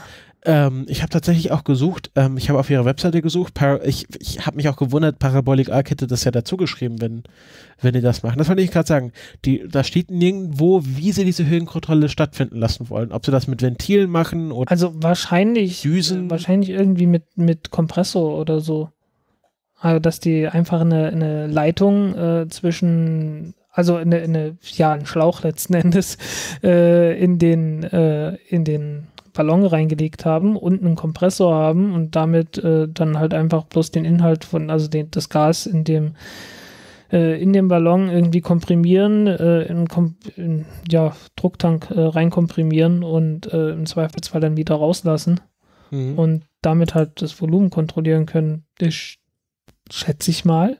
Also äh, man sieht ja ähm, in diesem Parabolic Arc Artikel, dass sie da zwei Ballons haben, die so untereinander hängen. Es gibt hier einmal den Secondary Balloon und den Primary Lift Balloon, dass sie vielleicht dahin, ah, ja. dazwischen hin und her pumpen können. Genau. Ähm, vielleicht. Das wäre natürlich eine Möglichkeit. Also ähm, ich, ich weiß auch nicht, wie sie das gemacht haben. Äh, auf ihrer Webseite schweigen sie sich darüber auch aus. Was ich auch noch ganz äh, lustig finde, es gibt von der NASA ein offizielles, ähm, äh, eine offizielle Skala der äh, Techno Technology Readiness Level. Ja, äh, die, die kannte ich schon, die ist nicht neu. Ja, die ich weiß, dass die nicht neu ist, aber ich habe sie zum ersten Mal entdeckt und ich finde sie sehr lustig. Also man kann tatsächlich ähm, daran einschätzen, wie, äh, wie fertig so oder wie ausentwickelt seine Technologie ist. Wie fertig, äh, fertig mit den Nerven. Genau, also es fängt dann bei TRL 1 an, also dass, äh, dass die äh, grundlegenden Prinzipien dieser Technik ähm, beobachtet und aufgeschrieben wurden. So, also nach dem Motto. Materieantrieb. Was? Antimaterie. Genau, also der Antimaterieantrieb ist gerade bei TL1 und dann geht es halt immer hoch, also dass, dass Komponenten schon mal äh, schon mal äh, irgendwie am, am, am, Steck, am Steckboard getestet wurden, also dass wir das mal so grob zusammengesteckt haben. Da wäre man so jetzt auf im gelben Level und mit diesem Flug ähm, hat jetzt äh, Stratolite, also so heißt das Projekt von Worldview, ähm, dass äh, die höchste, höchste, halt, ja. höchste Stufe von TRL 9 erreicht, dass das System ähm, im, im Flug äh, getestet wurde und, auf, äh, und ein, eine Mission offiziell abgeschlossen hat. Und das hat äh, Stratolite geschafft. Und ich finde es ja lustig, dass, dass die NASA da so ein, ein ähm, ein, ein, ein Level, äh, ein Barometer sozusagen dafür ausgegeben hat. Ist natürlich sehr, also ich, ich finde, alle, alle Webseiten, alle so diese ganzen Space-Startups sollten wie so, ähm, kennst du noch Web of Trust, wo dann so eine, oder so hier äh, TÜV oder hier äh, Vertrauenssiegel, also was man halt auf so Webseiten hat, so äh, immer ganz vorne, ganz oben rechts sollte immer das THL-Level von diesen ganzen Projekten stehen, damit man sofort weiß, ob das Vaporware ist oder ob das funktioniert. Also ich finde das. Ja, so ein bisschen wäre das manchmal nicht schlecht. Genau, also wenn da jemand mal so ein Web-Plugin für programmieren kann, so ein Chrome-Plugin, wo bei, bei diesen ganzen Space-Startups sofort das, das Te Technology Readiness Level dabei steht, damit man sofort weiß, wo man dran ist, das wäre schon sehr praktisch. Ja, äh, da, da melden sich ja auch immer wieder neue hier zu Wort. Also ähm, hatte ich ja, habe ich ja auch mit aufgeschrieben, mal kurz. Äh, einfach bloß, weil sie es getestet haben, ne? Äh, Up Aerospace, äh, also wie der Film, ne? Up ja. Aerospace, äh, ist eine Firma, irgendeine kleine Klitsche in Amerika, die ähm, äh, im Wesentlichen Höhenforschungsraketen gebaut haben bis hierher. Und äh, die haben halt ein Video veröffentlicht vom äh, Test äh, von einem äh, Feststoffraketenmotor, mit dem sie dann ihre Spider-Rakete äh, ja, halt starten, äh, ausrüsten wollen und damit dann irgendwie äh, orbitale Missionen fliegen können. Ähm, und äh, da, ich, ich bin mir nicht sicher, ob sie dann ungefähr auf Level 6 werden, weil ich weiß nicht, ob sie es, ob es flugqualifiziert haben schon oder ob das erstmal bloß der Systemtest war. Also Level 6 ist ja System, Subsystem Model or Prototype Demonstration in a relevant environment, ground or space. Ne, also würde ich denken, so, also Bodentest von Feststoffbooster äh, kommt ungefähr dahin, ne? Also ich, äh, wir können, Weil also wir können auch sagen. TRL7 ist ja dann äh, äh das äh, Systemprototyp-Demonstration in einem Weltraum, in einer Weltraumumgebung. Also, äh, um das mal zu vergleichen, der, der Grasshopper von SpaceX war TL6 und dann, wenn, als die Rakete dann den Weltraum erreicht hat, war es dann TL7. Äh, so ungefähr, naja, ist halt nicht in, ist halt nicht äh, in Weltraum geflogen, aber es ist halt in, der, in der typischen, äh, in dem typischen, in der typischen Umgebung, wo das Ding halt geflogen mhm. ist. Ne? Ja. So. Ähm, dann halt sechs und dann flugqualifiziert äh, durch Test und oder Demonstration äh, ist dann halt acht und dann, ja, erprobt ist dann halt neun. Genau, also diese Skala, die kann man sich vielleicht mal ausdrucken und irgendwie eine Computer ja. heften. Wenn man bisschen, selber, ein bisschen man, uneindeutig ist es natürlich, aber ja.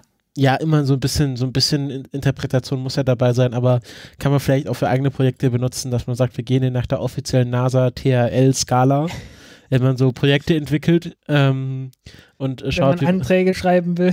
Genau, wenn man Anträge schreiben will oder keine Ahnung, äh, irgendwie äh, Abwasch macht, äh, bei welchem, bei welchem THL-Level man beim Abwasch ist ob das in einem Relevant Environment schon mal getestet wurde, das Spülmittel.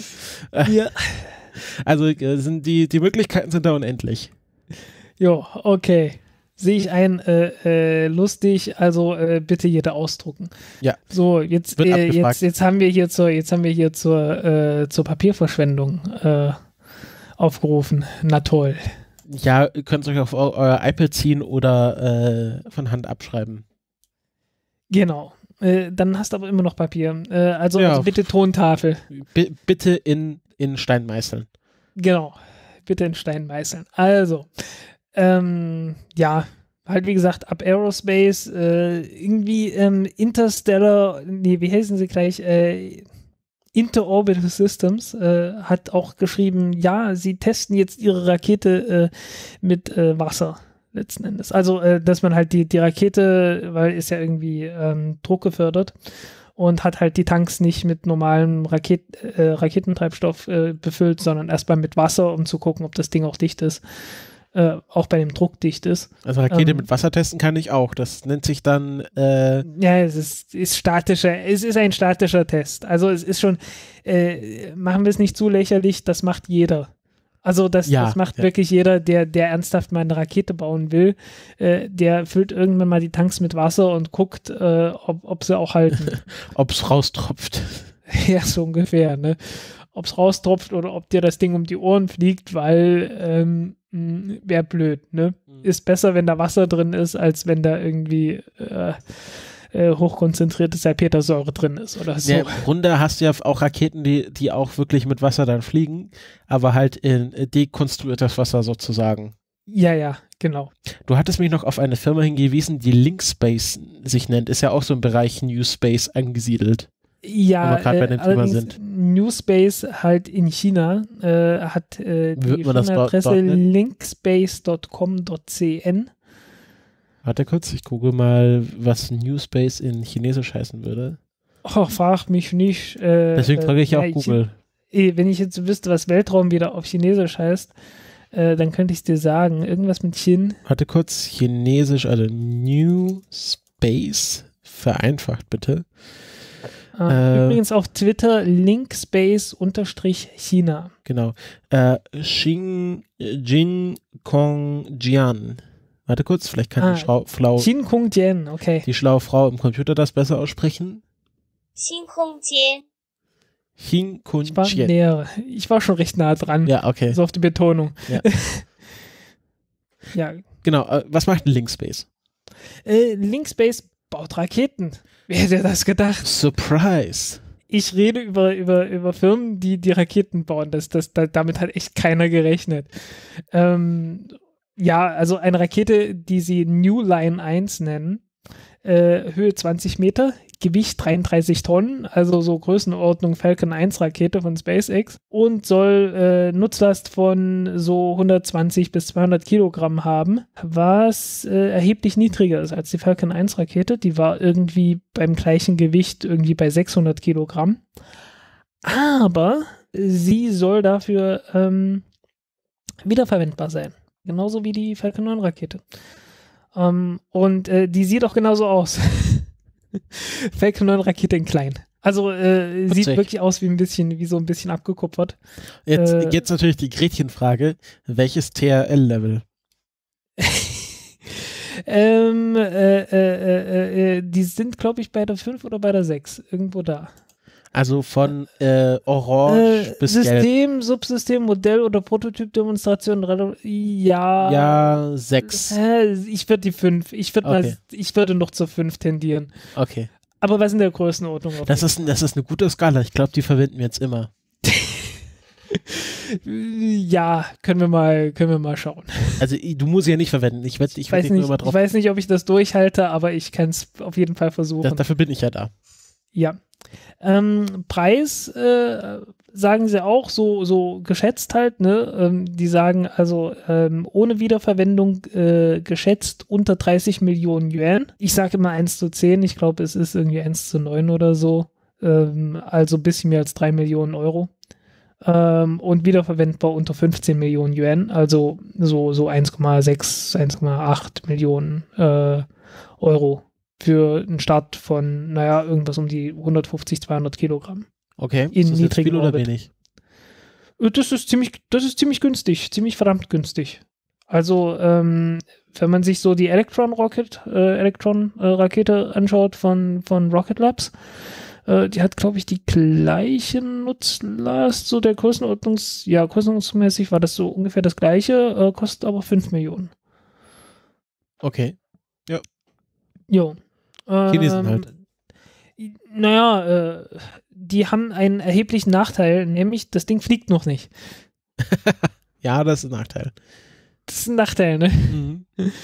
Ähm, also zurzeit, äh, zurzeit wird die noch getestet, so äh, äh, halt am Boden, an Kran hängend, ähm, damit sie nicht wegfliegt. Naja, also, Ich, ich, also Schwebetests halt, ne? Also warte, warte. ist jetzt auch nichts lächerliches, ich, weil ich stelle mir gerade stell mir eine Rakete an der Hundeleine vor, die man so Gassi führt. äh, da gab es auch irgendwann mal so ein, da gab es tatsächlich mal irgendwann einen Cartoon, den jemand gemalt hatte, auch mit jemandem, der dem ständig eine Rakete hinterher lief. Oh Gott. Also nicht lief, äh, äh, schwebte. Die schwebte einfach so von alleine. Ich habe keine Ahnung. Ähm, ja, äh, jedenfalls, äh, man kennt das, also ähm, Masten Aerospace und so weiter und äh, SpaceX hat das auch gemacht mit den Trackern. Ja, ist auch nicht verwerflich. Also, Ja, ist nicht, ist nicht verwerflich. ich fand es also, sehr lustig, das Bild. Ja, äh, glaube ich. Ja, also die sind auf jeden Fall dabei, sind, sind bei der Entwicklung und äh, ist jetzt die große Frage, äh, was da, wann da was rauskommt. Also zurzeit sind sie gerade irgendwo in Riyadh, haben gestern ein Bild aus Riyadh äh, von irgendeiner, irgendeiner äh, Konferenz Wollen- offensichtlich. Ist in Riyadh irgendeine Konferenz? Ich habe keine Ahnung. Oder, äh, oder kann doch sein, dass das einfach bloß Geschäfts... Äh, nee, Oder- es sieht irgendwie nach Konferenz aus, weil die Leute tragen so, so, so lustige, äh, so lustige Badges. äh, Konferenz-Badges, ja. Lanyards. Ja, Okay. Ja, kann ja auch sein, dass Ja. die Saudis irgendwie da interessiert dran sind. ähm, wahrscheinlich Ist, Geschäftssache. ist hier sowas. Saudi-Arabien oder Ja, äh, United Arab sag mal, wie gesagt, das ist so eine äh, oder Emirate?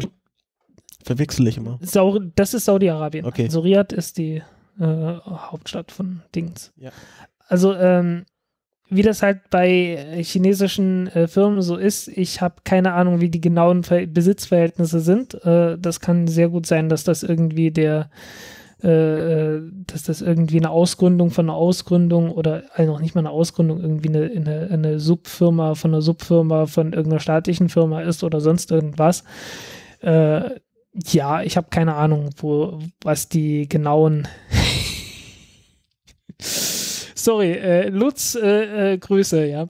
Ähm, Worum geht's? Ich hab, ich, ich, der, der, der Lutz, der beschwert sich andauernd, äh, dass ich keine Ahnung sage.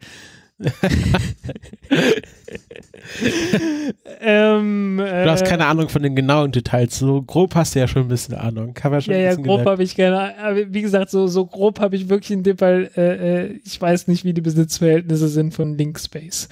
Ähm, Du hast doch nicht keinen. Grundbucheintrag von denen gesehen, oder wie? Genau, so ungefähr. Also bitte schreibt böse Kommentare, weil ihr jetzt genau wissen wollt, wie die Besitzverhältnisse von Linkspace sind. Äh, wir fordern dann bis zur nächsten, nächsten Episode einen, einen genauen, ein genaues Organigramm äh, dieser Firma ein. Genau. Ähm, ja, ist auch nicht die einzige, Pri so, so mehr oder weniger halb private Firma, die äh, irgendwie in China unterwegs ist. Also da gibt es diverse. Ja, war ja jetzt erstmal hier große Volksversammlung in China. Ähm, Ja, Neu auf den Jahresplan. Jinping Thought. Irgendwie auf Englisch übersetzt. Ich habe keine Ahnung, wie das jetzt auf Chinesisch genau hieß. Aber äh, die, die offizielle Staatsdoktrin hat man ausgegeben und man hat sie nach Xi Jinping benannt.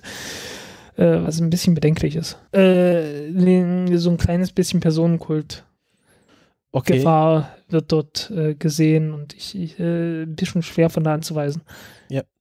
Ähm, ja, ich folge ja hier äh, The People's Daily, ähm, die jetzt irgendwie jetzt gerade Wegen eben den Panda-Bildern, ja. Wegen den Panda. Hast du das, das, das, Schlimme ist, das Schlimme ist, das ist ernst gemeint. hast du das, also die, ha- hast du das Foto gesehen von dem Panda, der wartet, dass sein Käfig gemobbt wird? Äh, Das muss ich Äh, Ihnen schon was verlinken. Das ist also weiß The People's äh, Daily, das ist zwar ein bisschen China-Propaganda, aber die sind auch sehr, sehr gute Twitter-Account. Also haben Ja. gute, gute Berichte auch manchmal. die sind tatsächlich mit den Nachrichten sehr oft, sehr oft schneller, auch mit europäischen Nachrichten sehr oft schneller als die europäischen Medien. Ja.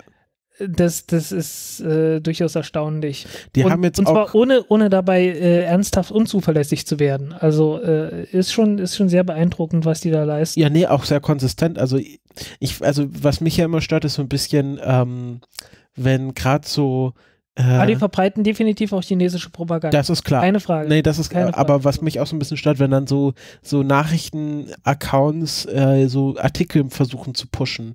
Also so ein Artikel, der schon irgendwie einen Tag alt ist, der jetzt nochmal verlinkt wird, weil der nochmal gelesen werden soll. Und The People's Daily ist ja wirklich sehr konsequent, was so Neuigkeitswert angeht. Ähm, die haben halt äh, jetzt, was ich ganz interessant finde, das werde ich mal nochmal durchlesen, die haben jetzt so Kurzbiografien von diesen ganzen äh, äh, Führern der chinesischen äh, Riege da vom Politbüro vertwittert. Hast du das gesehen heute? Oh, vielleicht. Keine Ahnung. Also ähm, ist natürlich mu- muss man natürlich mit einem Körnchen Salz äh, oder mit einem, einem einer ganzen ganzen Prise an Körnchen von Salz äh, nehmen. Aber ich finde das halt, also wenn man sich dem bewusst ist, dass das jetzt hier hier äh, kein äh, kein wirklich unabhängiges Nachrichtenmedium ist, äh, dann ist das schon irgendwie so ein guter Twitter-Account. Also ich folge dem sehr gerne. Ja. Also, wie gesagt, es ist ein, es ist ein staatliches Ding, aber äh, dem sollte man sich bewusst sein. Aber es ist dann halt auch entsprechend, äh, ja, es ist halt genau die Nachrichten, die der Staat gerne verbreiten möchte. Und wenn man sich dafür interessiert, äh, was in China so, so verbreitet werden will, dann äh, ist das durchaus lohnenswert und äh, ist in der Beziehung dann natürlich halt auch zuverlässig, weil halt es ist zuverlässig genau das, was die wollen. Ja. So, fertig. Ne? Äh, genauso wie halt zuverlässig, äh, was weiß ich, wenn man irgendeine Firma folgt. Äh, also SpaceX verbreitet ja auch genau das, was sie äh, verbreiten wollen. So ein bisschen wie, wie Pravda lesen in der, in der Sowjetunion.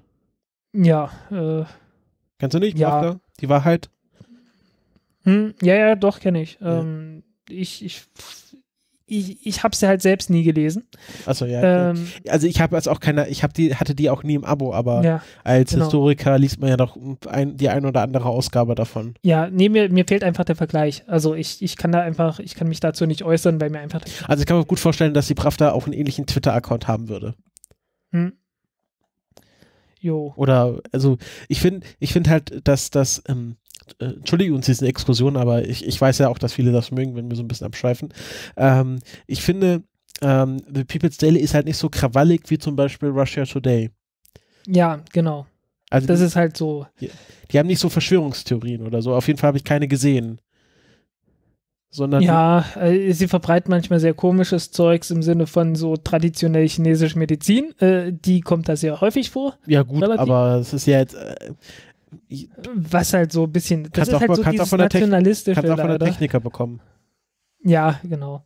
Ja. Ähm, ja, das, das ist aber bei denen mehr oder weniger nationalistisch begründet. Ja, ja. Also, Also- äh, was halt auch das Problem mit Xi Jinping ist. Ne?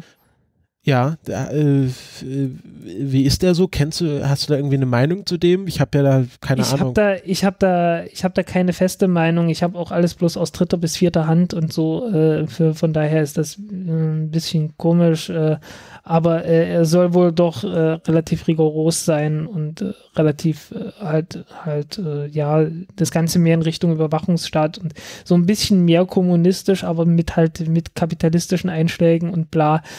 Äh, irgendwie so komisches Ding. Also es ist, äh, ja, wie halt, wie sie halt immer sagen, ne, äh, Sozialismus mit chinesischer Prägung. Ja. Oder wie Aber auch die, immer. ich bin jetzt gerade nochmal auf diesem Twitter-Account und ich vertwittert auch so Sachen wie, dass hier der Albert Einstein-Brief über seine Theorie von, äh, von äh, Glück äh, für 1,56 Millionen US-Dollar versteigert wurde. Hm. Ähm, und dann halt, es war jetzt halt letzten Wochen viel über diesen Parteitag. Jetzt muss ich nochmal dieses Panda-Bild raussuchen, das, das musst du nochmal sehen. Ähm, Siehst du, das funktioniert. Also äh, muss man, äh, ich, ich bin mir sicher, die machen das genau aus dem Grund. ja, ja, das ist Taktik, aber Das ist, Taktik das ist absolut funktioniert. Taktik, aber das Dumme ist, es funktioniert. Äh, furchtbar. Ähm, Warte hier, ich hab's, ich hab's, warte, ich schick's dir, ich, ich schick's dir per DM. Und ich äh, für Jo. die für die Hörer Hörerinnen zu Hause ähm, auch nochmal in die Shownotes, weil das Bild ist wirklich sehr sehr niedlich, auch auch im Vergleich zu anderen Panda-Bildern, weil oh ja. der Panda sitzt da, hat so die hat so ein bisschen die die die Füße so ein bisschen hochgezogen, wie man halt, also wenn wenn halt Mutti bei einem staubsaugt im Kinderzimmer, dann sitzt man halt auch auf dem Bett und zieht die Füße ein, damit sie damit man dem über dran kommt und es ist halt wirklich Ja. sehr niedlich. Es- die haben, die haben eine Unzahl an Panda-Bildern, weil die haben halt in China auch in den Zoos halt überall Pandas, ja. und, und ziemlich viele und äh, äh, werden auch gerne mal die Babys irgendwie äh, äh, drapiert und platziert und bla und äh, ja, wie das halt so ist, ne? Ja, nee, äh, die haben auch, die haben vor allen Dingen auch internationale, äh, internationale Nachrichten, äh, wo man dann auch manchmal eine andere Perspektive, einfach bloß aus einer anderen Ecke das halt sieht, ne? Und äh, das ist halt äh, interessant, ne? Also du, man sieht halt irgendwie noch mal eine andere Perspektive von, von Nachrichten und äh, das ist nicht, nicht notwendigerweise bloß deshalb falsch, weil es aus China kommt. Ähm, ja, es ist halt, ja, es halt kritisches Lesen, muss man dann halt können, ne? Ja, so ein bisschen, so ein bisschen, ähm, wie nennt man das? Äh, äh, was wollten die in den Schulen lernen? Medien. Medienkompetenz. ne? Medienkompetenz, kann man da üben. Genau. Liebe, Also also, liebe, mal, liebe ne? schulpflichtigen Hörerinnen und Hörer, die wir haben. Ähm, Äh, Insofern ihr gut Englisch könnt. Ja, das können die ja, die, die, weißt du, die schauen mit fünf schon Minecraft, also das ist ja, äh, Ja, also Hausaufgabe, äh, äh, People's Daily. genau.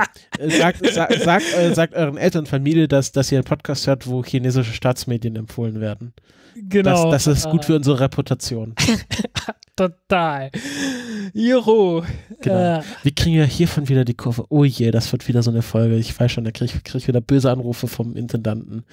Ähm, ach so, äh, äh, von, äh, von chinesischem Staat kommen wir zum amerikanischen Kapitalismus.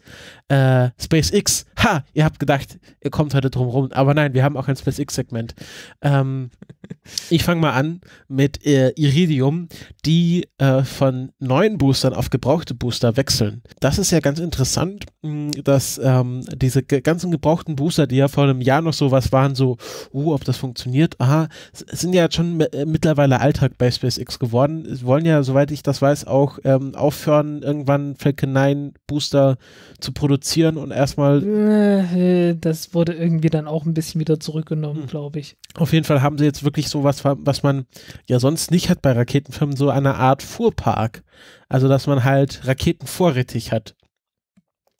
Und Ja. ähm, äh, damit äh, Iridium, Ja, wobei, wobei das ist eigentlich relativ normal. Also ähm, Raketen werden grundsätzlich, äh, nicht, nicht grundsätzlich, ähm, äh, in Amerika war es eine Zeit lang so, dass man die wirklich bloß so on demand äh, bestellt hat und dann wurde das alles furchtbar teuer. Äh, und dann hat man gesagt, äh, wir machen Block Buys. Äh, so heißt, man hat halt immer so gesagt, okay, wir bestellen jetzt mal 30 Stück. Äh, insofern äh, wurden die durchaus so auf Vorrat gebaut. Also das war durchaus normal. okay, Aber äh, ja, man hat jetzt halt einen Vorrat aus äh, schon geflogenen Raketen, was jetzt, äh, was tatsächlich was völlig Neues ist. ja, genau. Und ähm, die wollen ja auch, also dass, dass das auch gar nicht mehr günstiger ist, sondern dass es halt einfach der normale Preis ist, äh, äh, ob man jetzt eine neue oder eine alte Rakete fliegt, ist ja, also im Grunde, äh, im Grunde nähern wir uns jetzt hier so dem, dem, also du hast ja auch, kriegst auch keine Vergünstigung, wenn du einen LKW benutzt äh, für deine Fracht, der schon dreimal hin und her gefahren ist. Ähm, Genau. Also so nach dem Motto. Mm, Ja. Ob der jetzt 3000 Mal oder schon 10.000 Mal gefahren ist, das ist dann auch noch egal. Genau, und es ist ja, also ich glaube, man kann es sogar fast eher mit Flugzeugen vergleichen. Äh, die werden ja auch also immer wieder auseinandergenommen und neu zusammengebaut. Und äh, da, da- das macht im Grunde keinen Unterschied, ob das Flugzeug gerade aus der Fabrik gerollt ist oder schon zehn Jahre fliegt. Das ist immer noch gleich gut. Ja, äh, in gewissen Grenzen, also die haben äh, nur eine begrenzte Anzahl an, äh, an Druckzyklen, die sie über Ja, genau. Aber ich glaube, das wird wahrscheinlich halt. bei Falcon 9 Boostern nicht unähnlich sein. Genau, äh, deswegen sagt man ja auch bei den äh, Block 3 Raketen, da haben wir die Blöcke wieder. Bei den Block 3 Raketen sagt man so, naja, ein, zweimal kann man sie wiederverwenden. Äh, bei den Block 4 Raketen heißt es dann schon zehnmal. Oh, und bei den Block 5 Raketen muss man dann abwarten. Oder waren das die Block 5 Raketen, die man zehn? Ja, ich glaube, äh, ja, bei den Block 5 Raketen, da hieß es äh, zehnmal und nur mit Inspektion und äh, danach halt irgendwie einmal aufarbeiten und dann halt wieder zehnmal und das insgesamt hundertmal oder so. Also da, da hat man durchaus äh, einiges vor. Und ähm, ihr, damit Iridium in ihrem, Fly, äh, ihrem, ihrem Zeitplan äh, sein kann, weil die sind ja gerade äh, im Begriff, ihre Flotte zu erneuern mit den Iridium Next Satelliten, die nicht mehr glänzen. Das ist ja sehr schade, dass wir über, dass wir über Genau. mittelfristig die Iridium Flares verlieren werden vom Nachthimmel. Ja, äh, die ja von der Antenne kamen. Also die hatten so, so platte Antennen gehabt, die halt äh, gerade richtig standen und dann das Licht äh, reflektiert haben. Ähm, ja, Genau, und ähm, das also war einfach eine ganz interessante Meldung, dass die jetzt tatsächlich von äh, neuen Boostern auf äh, gebrauchte Booster wechseln. Und ich glaube, da noch nicht mal irgendwie eine große Vergünstigung für bekommen. Das ist einfach so ein Zeitplan-Ding. ja. Ähm, apropos Vergünstigung, vergünstigt bekommt natürlich, äh, oh, wie heißen die Dinger? Äh, wie, wie, hieß, wie hieß die Firma, äh, die die Amos-Satelliten gebaut hat, diese israelische Firma? Oh, oh, äh, warte kurz. Amos. Ah, ich 6. komme gerade nicht drauf. Amos 6 äh, Ähm. war ja der Satellit, der verloren gegangen ist, als letztes Jahr die äh, Falcon 9 Rakete beim Äh, Test explodiert ist. Israel Aerospace Industries. Ah, okay, ganz leicht. Ja, Ähm, ja, Ähm, und die bekommen jetzt äh, äh, zwei Starts vergünstigt. Also der erste einfach bloß als Ausgleich äh, für, den, für den zerstörten Satelliten. Also das hatte ja SpaceX sofort versprochen. Und äh, den zweiten für 50 Millionen Dollar.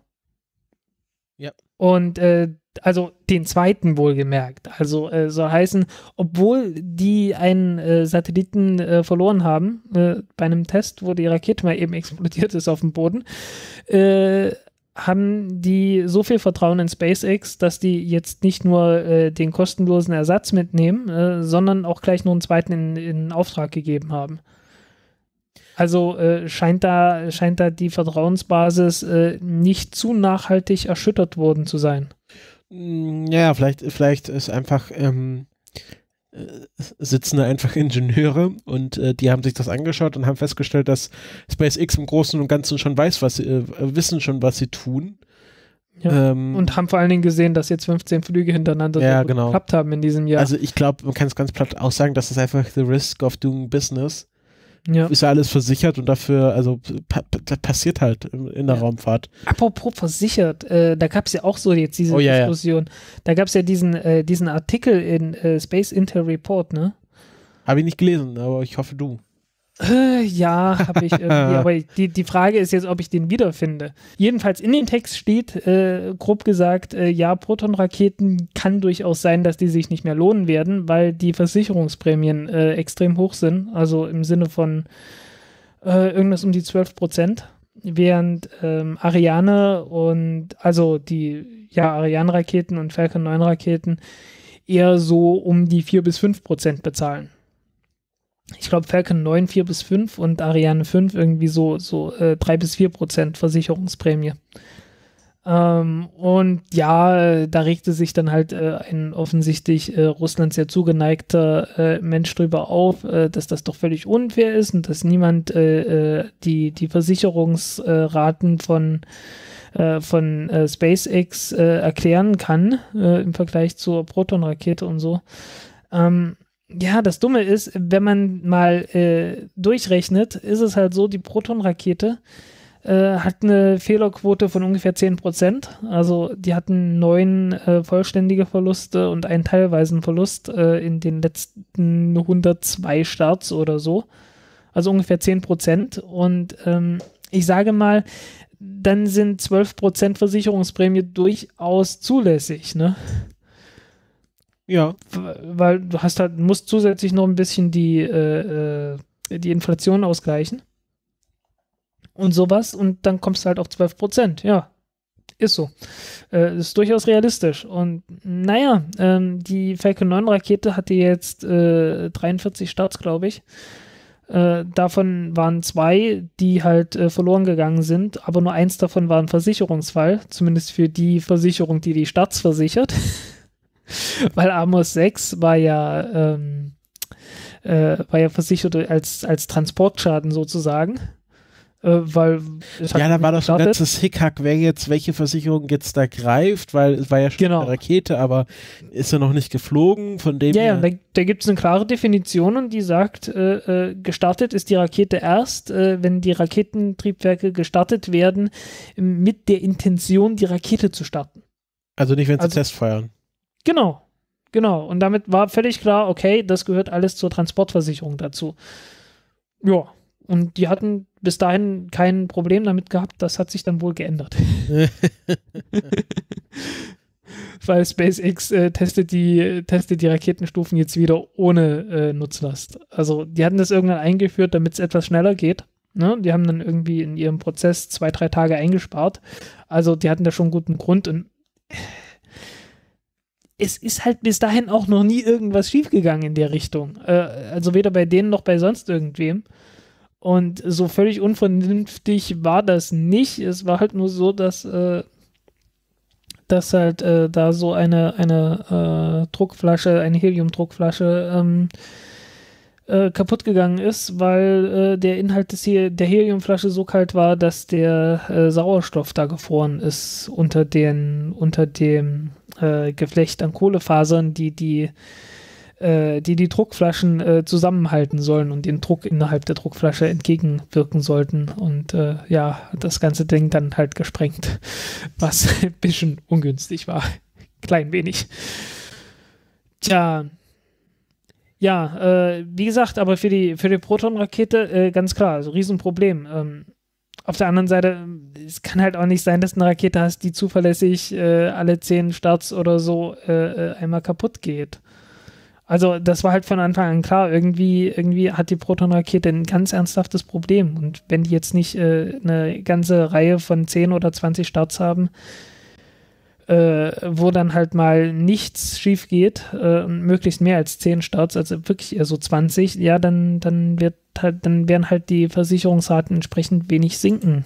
Also das ist äh, deren eigene Schuld, mehr oder weniger. Mhm. Ja. Ähm, du hattest ja noch was zu Elon Musk aufgeschrieben. Ja, der hatte ein AMA gemacht, ein, ein Reddit, äh, Ask Me Anything. Also äh, bitte fragt mich doch einfach mal alles. Was er schon letztes Jahr gemacht hat nach seinem Vortrag. Genau. Ähm, ja, äh, da war so einiges dabei. Ähm, ja, also wie äh, zum Beispiel ähm, die Landung von dem, von dem Raumschiff äh, äh, wird ja dann genauso stattfinden wie bei der Falcon 9 Rakete. Und jetzt kam die Frage auf, wird das wieder so ein Hover Slam, soll heißen, ähm, äh, kommt die mit großer, also kommt die mit großer Geschwindigkeit am Boden an und wird dann mit äh, voller Kraft abgebremst und ganz schnell äh, zum Stehen gebracht. Und da meinte er, naja, nee, nicht so richtig schnell. Das, äh, äh, es ist zwar schon noch so, dass die, dass die nicht äh, über dem Boden schwebt, aber ähm, irgendwie sind nur 1,3 G an Verzögerungskräften. Also 0,3, was tatsächlich abgebremst wird, aber es kommt ja noch 1 G durch die Gravitation dazu. Ja. Ähm, er meinte auch, äh, der Grund, warum das Raptor-Triebwerk jetzt nur noch 170 Tonnen Schub hat, anstatt von 300, äh, ist we chickened out. ne, also ja, dann hat er halt gesagt, nee, machen wir mal doch nicht so groß, letzten Endes. Ähm, ja, und äh, man will sich halt im Wesentlichen auf die, äh, auf die Zuverlässigkeit des Ganzen äh, konzentrieren. Ähm, ja, äh, und man hat das, man hat das Raptor-Triebwerk, äh, es ist nicht hundertprozentig klar geworden, ob das jetzt äh, schon die endgültige Größe ist. Also ich, ich glaube, es war irgendwie so ein Testtriebwerk oder Evaluation oder irgend sowas. Also es war noch kein Flugtriebwerk. Das ist irgendwie rumgekommen. Also es, äh, es gibt da so verschiedene, äh, verschiedene ähm, ähm, Stufen halt. Ne? Äh, du kannst halt äh, einmal so ein Triebwerk, das die gleichen Komponenten hat, also Subscale, also kleiner als das, was du am Ende haben willst. Das hatten die ja schon letztes Jahr getestet. Äh, dann kannst du das äh, Triebwerk testen, schon in Originalgröße von den meisten Teilen, aber noch nicht unbedingt so optimiert, dass man damit fliegen wollen würde. Und ich habe so das, den Verdacht, dass das Raptor-Triebwerk jetzt gerade so auf dieser Ebene getestet wurde. Ja, und dann kannst du halt noch das Flugtriebwerk testen, äh, das dann halt schon auf äh, geringes Gewicht und so weiter und äh, einfache Handhabbarkeit in der Rakete und so weiter optimiert hast. Also das ist dann halt nochmal noch mal ein anderes Biest das dann halt auch nochmal testen musst. Ja. Ja, dann halt äh, der Flügel von dem, äh, von dem BFS, also von dem Raumschiff, äh, hat ja hat ja so einen Flügel, ne? Und er meint, und Elon Musk meinte halt, ja, also als Delta-Flügel würde ich das jetzt nicht so richtig bezeichnen. Im Wesentlichen geht es nur darum, äh, dass das Ding dafür sorgt, dass, äh, dass die Rakete nicht mit den Triebwerken zuerst in die Atmosphäre reinkommt. Also es geht bloß darum, das Ding irgendwie ein bisschen beim Wiedereintritt zu stabilisieren. Äh, und äh, nicht so richtig dafür, dass da sonderlich viel auf, äh, äh, Auftrieb generiert wird. Also im Wesentlichen ist es äh, kein, kein richtiger Flügel und mehr so, mehr so äh, äh Leitwerk. Also mehr so ein Ruder als ein, als ein, als ein äh, Flügel. Ja. Also es wird mit sich, also ich kann dir garantieren, ein bisschen Auftrieb wird das Ding generieren, ob du willst oder nicht. Ähm, aber dafür ist es halt nicht jetzt primär gedacht. Äh, da, da, da,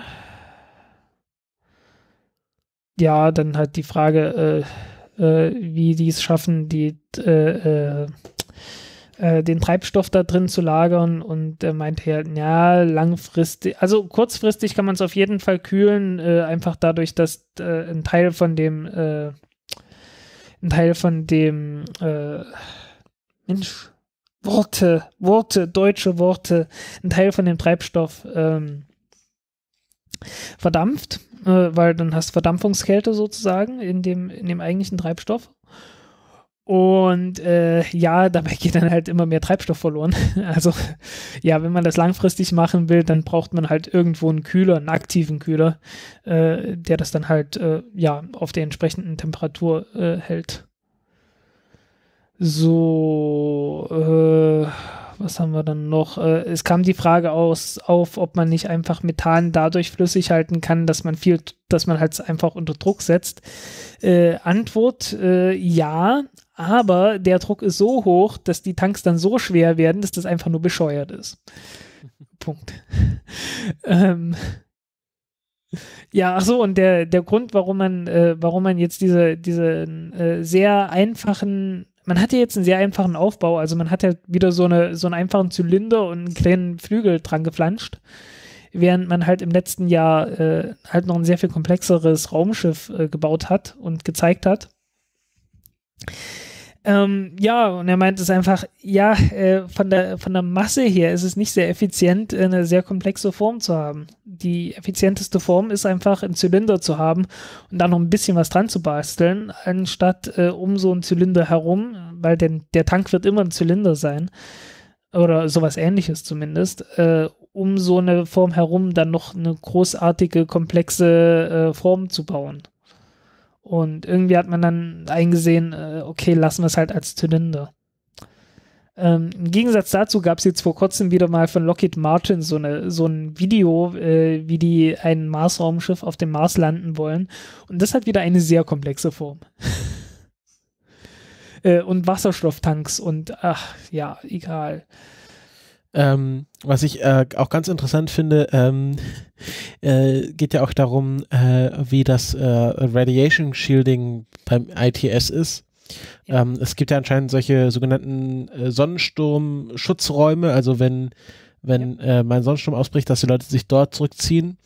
Wer Kim Stanley Robinsons Roter Mars gelesen hat, die ersten paar Kapitel, äh, wo der Flug zum Mars selbst äh, beschrieben wird, weil äh, bevor man irgendwie den Mars besiedelt und terraformiert und da äh, äh, Weltraumaufzüge baut und äh, die Hauptprotagonisten getötet werden und so, muss man ja erstmal zum Mars fliegen und da ist auch so ein Sturm und da haben die auch schon so einen Shelter so ein äh, Sonnensturmbunker drin. Ja, äh, was ganz lustig ist, ähm, ähm, äh, die Frage war, ob es über, darüber hinaus Strahlenschutz gibt für so die sogenannte Hintergrundstrahlung im Weltraum.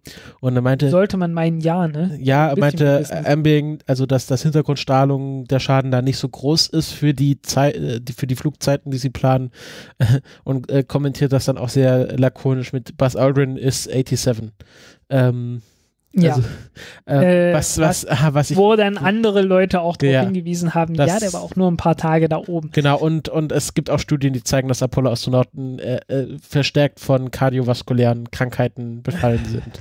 Äh, ob das damit was zu tun hat, das weiß ich nicht. bei kardiovaskulär, das hat, das klingt nicht gerade nach, nach Schäden durch Strahlung oder so. Genau, eine Frage ist natürlich auch, äh, boring question about Mars, also äh, The Boring Company ist ja Elon Musk neueste, neueste Idee, er will jetzt über Tunnel hinbohren. Und die Frage ist natürlich, wird, wird, wird die erste BFS ähm, eine äh, Tunnelbohrmaschine äh, mit sich tragen auf dem Mars, also wird er Tunnel auf ja. dem Mars bohren. Da fällt mir gerade ein, äh, die, die JAXA, die, die japanische äh, Weltraumagentur, die hat einen Tunnel auf dem Mond gefunden, den man nicht mehr graben müsste, nämlich eine Lavaröhre, 50 Kilometer lang und ziemlich groß. Ja.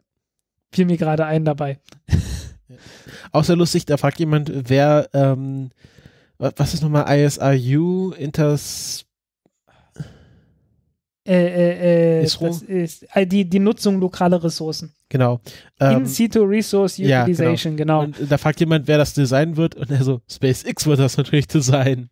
Ja, ähm, worauf man, man hat sich auch ein bisschen übers, übers äh, Space Shuttle mokiert, weil äh, das Raumschiff von, von, äh, von SpaceX wird keine, äh, äh, wird kein Höhen, kein Ruder haben hinten. Ja. Also äh, man hat ja so eine, so ein, jedes Flugzeug hat ja so eine vertik, so ein vertikales Ruder. Und äh, ja, wird man nicht haben, weil äh, braucht man nicht. Ja, das Space Shuttle war ja auch dazu designt, dass es auch in der Atmosphäre sehr weit fliegen kann, falls man, falls man da Genau. die Sowjetunion damit einnehmen will. Mit den sechs, ja, sechs sowas Astronauten und an Bord. ähnliches.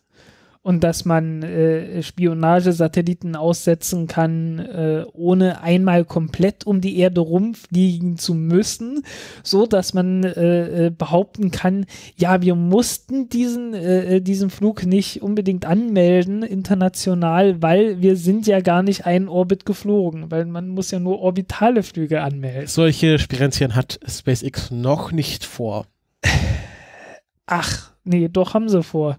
Halt mit Passagieren an Bord. Aber darüber hatten wir uns hinreichend ausgelassen beim letzten Mal. Ach so, ne? ja, nee, das, äh, äh, äh, das spricht mich gar nicht am besten drauf an. Äh, kommen wir mal ein bisschen weg zu SpaceX. Ja, ähm, die Frage warte mal ist- kurz, irgendwas, es war noch irgendwas mit Bob der Bilder, äh, äh, dann irgendwie drei, dass einige Teile vom Raptor-Triebwerk 3D gedruckt werden. Was haben wir hier noch?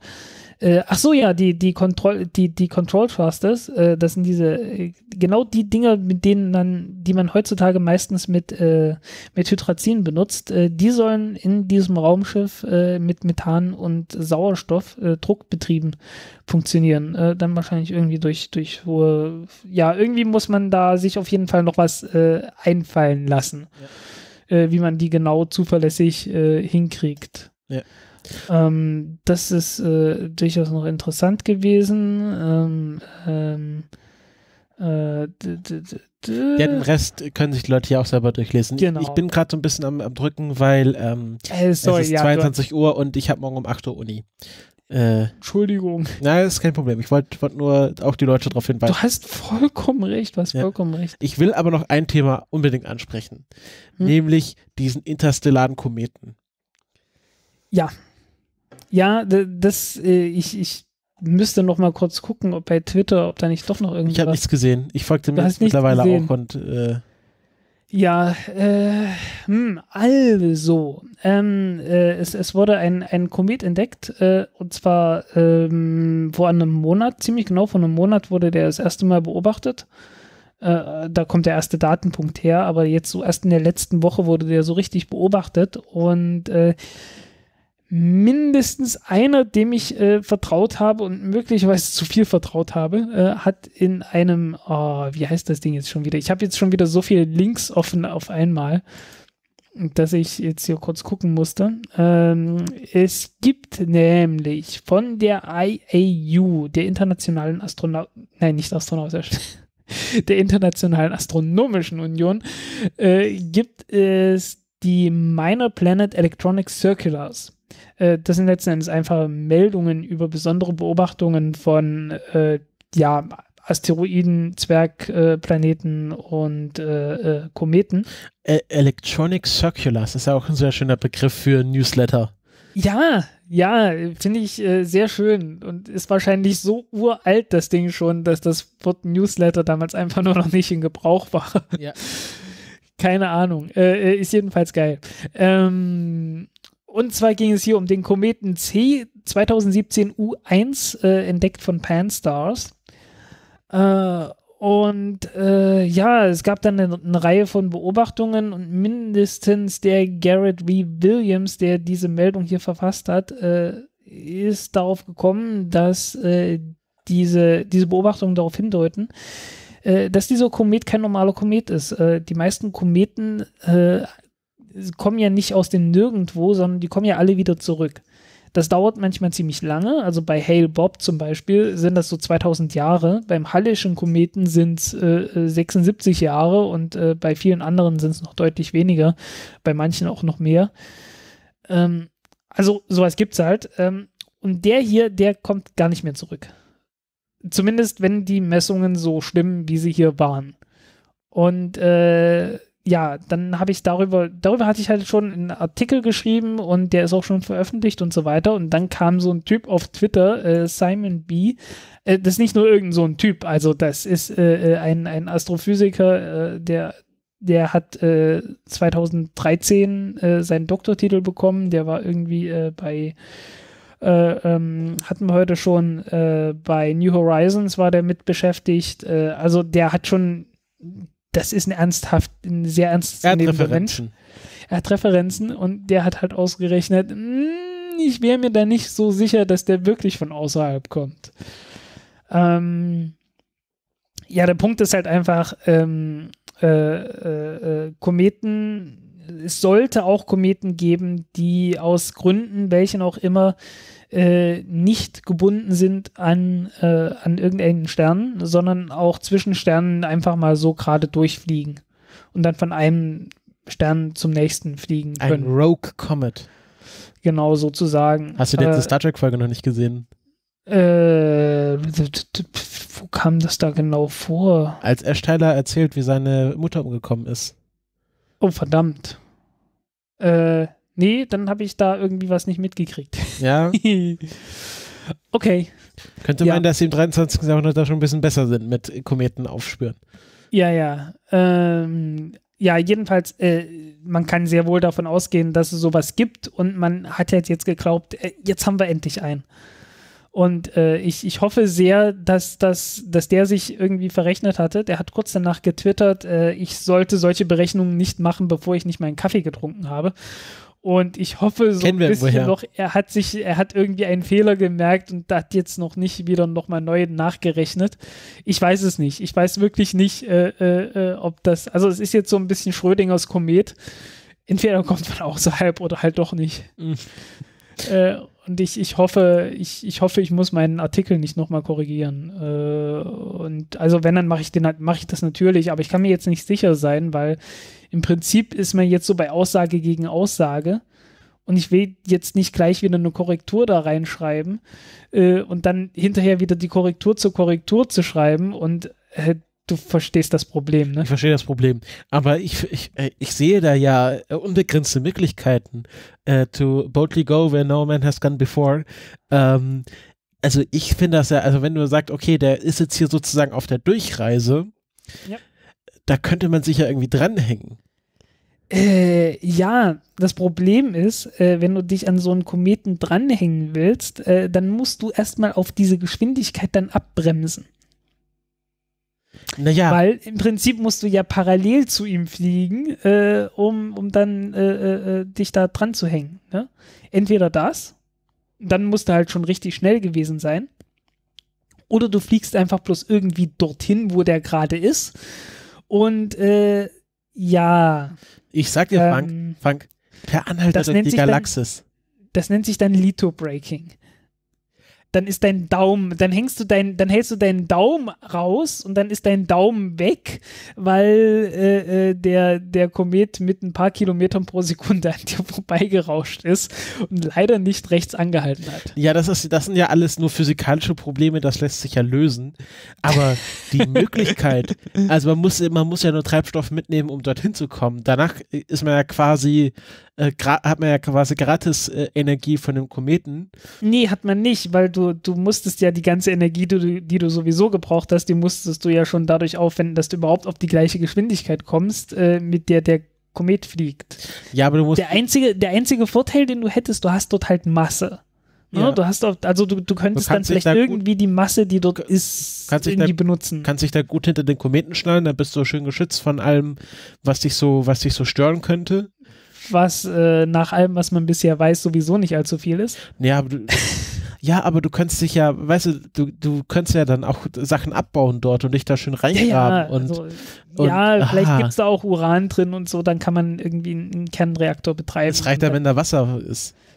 Äh, nee, reicht nicht, weil du fliegst ja dann irgendwie weit weg von der Sonne, du hast dann keine andere Energiequelle und dann kannst du nicht mehr sagen, ja, ich nehme das Wasser und mache daraus irgendwie Treibstoff oder sonst irgendwas. Ja, also lass mir Du doch brauchst meine dann schon eine ernsthafte Energiequelle. Lass mir doch mal meine Träume. Ich will hier, ich will hier, also das wäre doch mal die Möglichkeit, wirklich per Anhalter durch, durch die Galaxis zu fliegen.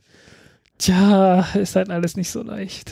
Wir müssen, wir müssen wirklich mal ins, äh, nach Alpha Centaurium schauen, welche Pläne dort ausliegen. Kann ja, Ja. nie wissen. Ja, kann man nicht wissen. Aber auf diese Note, glaube ich, beenden wir diese Folge. Ähm, Ähm, Oder hast du noch- hast du noch Ja, was? nee, ich, äh, äh, kurzer Hintergrund dazu. Äh, es gibt ja ein Red es gibt ja eine Redaktion bei Golem. Ich bin der ja, es ja gibt nur eine Redaktion Autor. bei Golem. Ich ja mache das nicht alleine, falls das jemand Ja. geglaubt hat. Nee, ich bin ja der, ich bin da ja fester Freier und von daher, wenn ich da irgendwie einen Artikel schreibe, äh, dann sollte ich, wenn es geht, vorher schon mal einen Redakteur gefragt haben, ob das Thema soweit interessant ist. Und da meinte er halt bloß so, hey ja, klingt interessant, machst du was dazu? Ja. Und dann meinte er, ja, aber bitte nichts mit Raketentriebwerken. Weil ich die letzte, ich halt irgendwas die über die Soyuz-Rakete geschrieben hat und mich dann letzten Endes halt nur über die Raketentriebwerke ausgelassen hatte. Und es war dann schon auffällig. Ja, aber wenn ihm Le Leute mögen. Ja, ja, äh, ja, trotzdem, es war, es war übertrieben in dem einen Artikel auf jeden Fall. Und ich habe ja sowieso eine Tendenz dahin. Ähm, also hier, war nicht völlig Hiermit geht, äh, hiermit ergeht die Aufforderung an alle Hörer und Hörerinnen, äh, auf diesen Artikel zu gehen und drunter zu kommentieren, dass ihnen da der äh, Raketenantriebsaspekt äh, gefehlt der, hat. Der, der hat ja nicht gefehlt, hat ja nicht gefehlt. Oder dass sie habe sich mehr ja Fokus dann- auf den Antriebsaspekt äh, Aspekt gewünscht hätten. ich hab ja dann im Dass sie nur letzten dafür Golem lesen. Naja, ich habe, also jedenfalls hat er gesagt, aber schreibt nichts mit Raketentriebwerken da rein. Naja, und dann im letzten, im letzten Satz habe ich sie dann doch noch irgendwie untergebracht. Aus Trotz. Aus Trotz, ja. Musste sein. So. Okay. Ähm, Falcon 9, Korea Sat 5a am 30. Oktober. Oh, jetzt Um- wird, jetzt wird mir hier das Wort abgeschnitten. Das ist ja böse. Nee, ja, ja, das ist wie bei den Oscars. äh, aber ganz, ganz kurz nochmal, ganz kurz nochmal. Ich gehe nochmal kurz hier durch, die, durch meine Aufzeichnung. Oh, X37 wird schon wieder verschoben. Ja, ja, komm, jetzt, äh, ich muss ins Bett. Oh, okay, ganz kurz noch, ganz, ganz kurz. Okay. Äh, Blue Origin hat ein Triebwerk getestet. Ja, i4-Triebwerk, wissen wir ja, so mit Methan und Sauerstoff und so. Äh, ganz großes Ding, äh, ganz groß angekündigt, teilweise übertrieben. Äh, die haben das für drei Sekunden getestet äh, mit 50% Schub. Äh, ist deswegen erwähnenswert, weil die halt im, seit Mai nichts mehr testen konnten, weil im Mai sich ein Triebwerk bei denen auf dem Teststand, oder zumindest eine Komponente von einem Triebwerk auf dem Teststand, äh, hinreichend formschön äh, auseinandergebaut hat, äh, dass der Teststand dann erstmal ein paar Monate lang nicht mehr äh, benutzbar war. Jetzt war man halt hier ganz stolz dabei und hat gezeigt, hey, wir haben getestet für drei Sekunden. Naja. Okay, wollte ich noch kurz erwähnt haben. Koreasat 5a auf einer Falcon 9 am 30. Oktober um 21.34 Uhr bis 23.58 Uhr geht das äh, Testfen äh, Flugfenster ähm, von Kennedy Space Center Florida. Äh, wann war das nochmal? 30. Oktober. 30. Oktober. Oh, hey. Okay. Wieso? Äh, ich dachte irgendwie, der nächste wäre für November geplant. Ich da Ja, ist auch fast, fast es ist sehr knapp Oktober äh, zugegebenermaßen. Ähm, Minotaur C-Rakete wurde verschoben. Äh, das heißt, ich habe noch eine Gnadenfrist, meinen Artikel darüber zu schreiben. Und ich muss das jetzt morgen, morgen wirklich machen, äh, egal, was, egal was passiert. Das Ding muss fertig werden. Ähm, verschoben zigmal, äh, kommt dann. Äh, was es damit auf sich hat. Willst du auch äh, sagen, wann, an welchem Datum? Am 31. Oktober, habe ich schon gesagt. Hast du nicht gesagt. Okay, äh, kurz vor Mitternacht dann, übrigens. Ja, 23.37 Uhr. von Vandenberg in Kalifornien, äh, weil soll äh, sonnensynchron werden und äh, von Florida aus äh, sind so Missionen, die sonnensynchron sein sollen, äh, bisschen blöd, weil du musst dann so Richtung Pole fliegen. Und äh, von Vandenberg aus macht man das nach Süden hin und da ist halt Pazifik und äh, von Florida aus ist da halt im Norden irgendwie Neuengland und so. Und äh, dann, dann zieht man den, den Pazifik äh, als Überflugsgebiet dann doch irgendwie vor. Ja, ist das, ist das, äh, spielt es eine Rolle, zu welchem Pol man fliegt? Nö. Kann man ja, kann man nicht von Kennedy aus Richtung Südpol fliegen? Ja, kann man ja. Äh, ach so, äh, ja, äh, dann hast du irgendwie, ah, ich bin mir gerade nicht sicher, ich, ich, ich konsultiere den Globus. Moment, äh, da hat man Kuba im Weg. Das, das könnte schwierig werden. Da, ich glaube, da war mal was Genau. mit irgendwie Raketen. Kuba und Kuba, möglicherweise, da klingelt was. möglicherweise Jamaika und so. ich, äh, Ich, ich, ah, wusste, ich wusste nicht, ob's, ich wusste nicht, ob's, ob's Kuba ist oder ob's äh, äh, hier Hispaniola ist, also hier Haiti und ja, schon Kuba, Kuba Dingens. klingt nicht ganz fle- klingt nicht ganz falsch. ja, Äh, dann haben wir im November noch kein genaues Datum, Long, Lange Marsch 3B mit einem Baidu-Satelliten. Aha. ja, Baidu ist das Navigationssystem. Genau. Äh, hatten wir ja irgendwann mal geklärt, das heißt Kompass. Das äh, klingt richtig. Äh, willst du eine nächste? Ähm, am 7. bzw. 8. November, äh, das ist um 1.42 Uhr. Äh, Also 3 Uhr unserer 42 Zeit, unserer Zeit. Ja, also am 8. November äh, in Französisch-Guyana. Also äh, Ortszeit ist das dann der 7. Der 7. November, alles klar. Eine Vega-Rakete äh, mit MN 3513 Erd. Äh, ah, für Marokko, ein, ein Erdbeobachtungssatellit. Für das Königreich Marokko. Ähm, dann haben Vielleicht Marokko, äh, zu dem Westsahara garantiert äh, gehört. Oder also wenn man die Marokkaner fragt, Wenn man die Marokkaner fragt, dann gehört die Westsahara- ganz, ganz genau zu Marokko. Genau, wenn man die, die Leute dort fragt, äh, nicht unbedingt. Sehen die das ein bisschen anders. Aber Marokko ist ja die größte, äh, wie hieß das, ähm, das was zum Phos Phosphormine der Welt. Ja, Äh, aber das ist halt, die sind halt gerade in der Westsahara. Genau, das ist ja, das ist das Problem, weil uns geht das Phosphor aus. Das wird nochmal ein ganz großes Problem. Äh, also, naja, anderes Thema lassen wir sein. wir wollen keine Leute jetzt dazu aufrufen, große Phosphorvorräte anzulegen, weil dann kommen wir garantiert auf eine Terrorliste. Das, äh, das diskutieren wir später. Genau, dann Genau. Äh, haben wir eine Delta 2 mit dem JPSS 1. Das ist ein äh, Satellit für den amerikanischen Wetterdienst. Ähm, und der fliegt am 10. November um äh, 9 Uhr, 11.47 Uhr äh, von der Vandenberg Air Force Base, weil er auch Mhm. in einen polaren Orbit gehen soll. Und einfach, weil ich jetzt dabei bin und auch wenn das überhaupt keinen Sinn mehr macht, weil bis dahin. Oh nee, nee. 12. ist der nächste. ja, Nee. um, den 12. Ich, geh, wir gehen jetzt mal, nehmen noch mal die Antares mit. Genau, die Antares-Rakete äh, am 11.11. Äh, leider nicht um 11.11 Uhr, äh, sondern um 12.37 Uhr äh, Greenwich Mean Time. Also dann äh, mit Sicherheit um 13.37 Uhr unsere Zeit. Also oh, Lead Time. 13.37 Uhr, Lead. Lead Hour. unsere Zeit. Weil dann ist ja nicht mehr, nicht mehr äh, Sommerzeit. Ähm, ja, Antares-Rakete, seit langer Zeit mal wieder.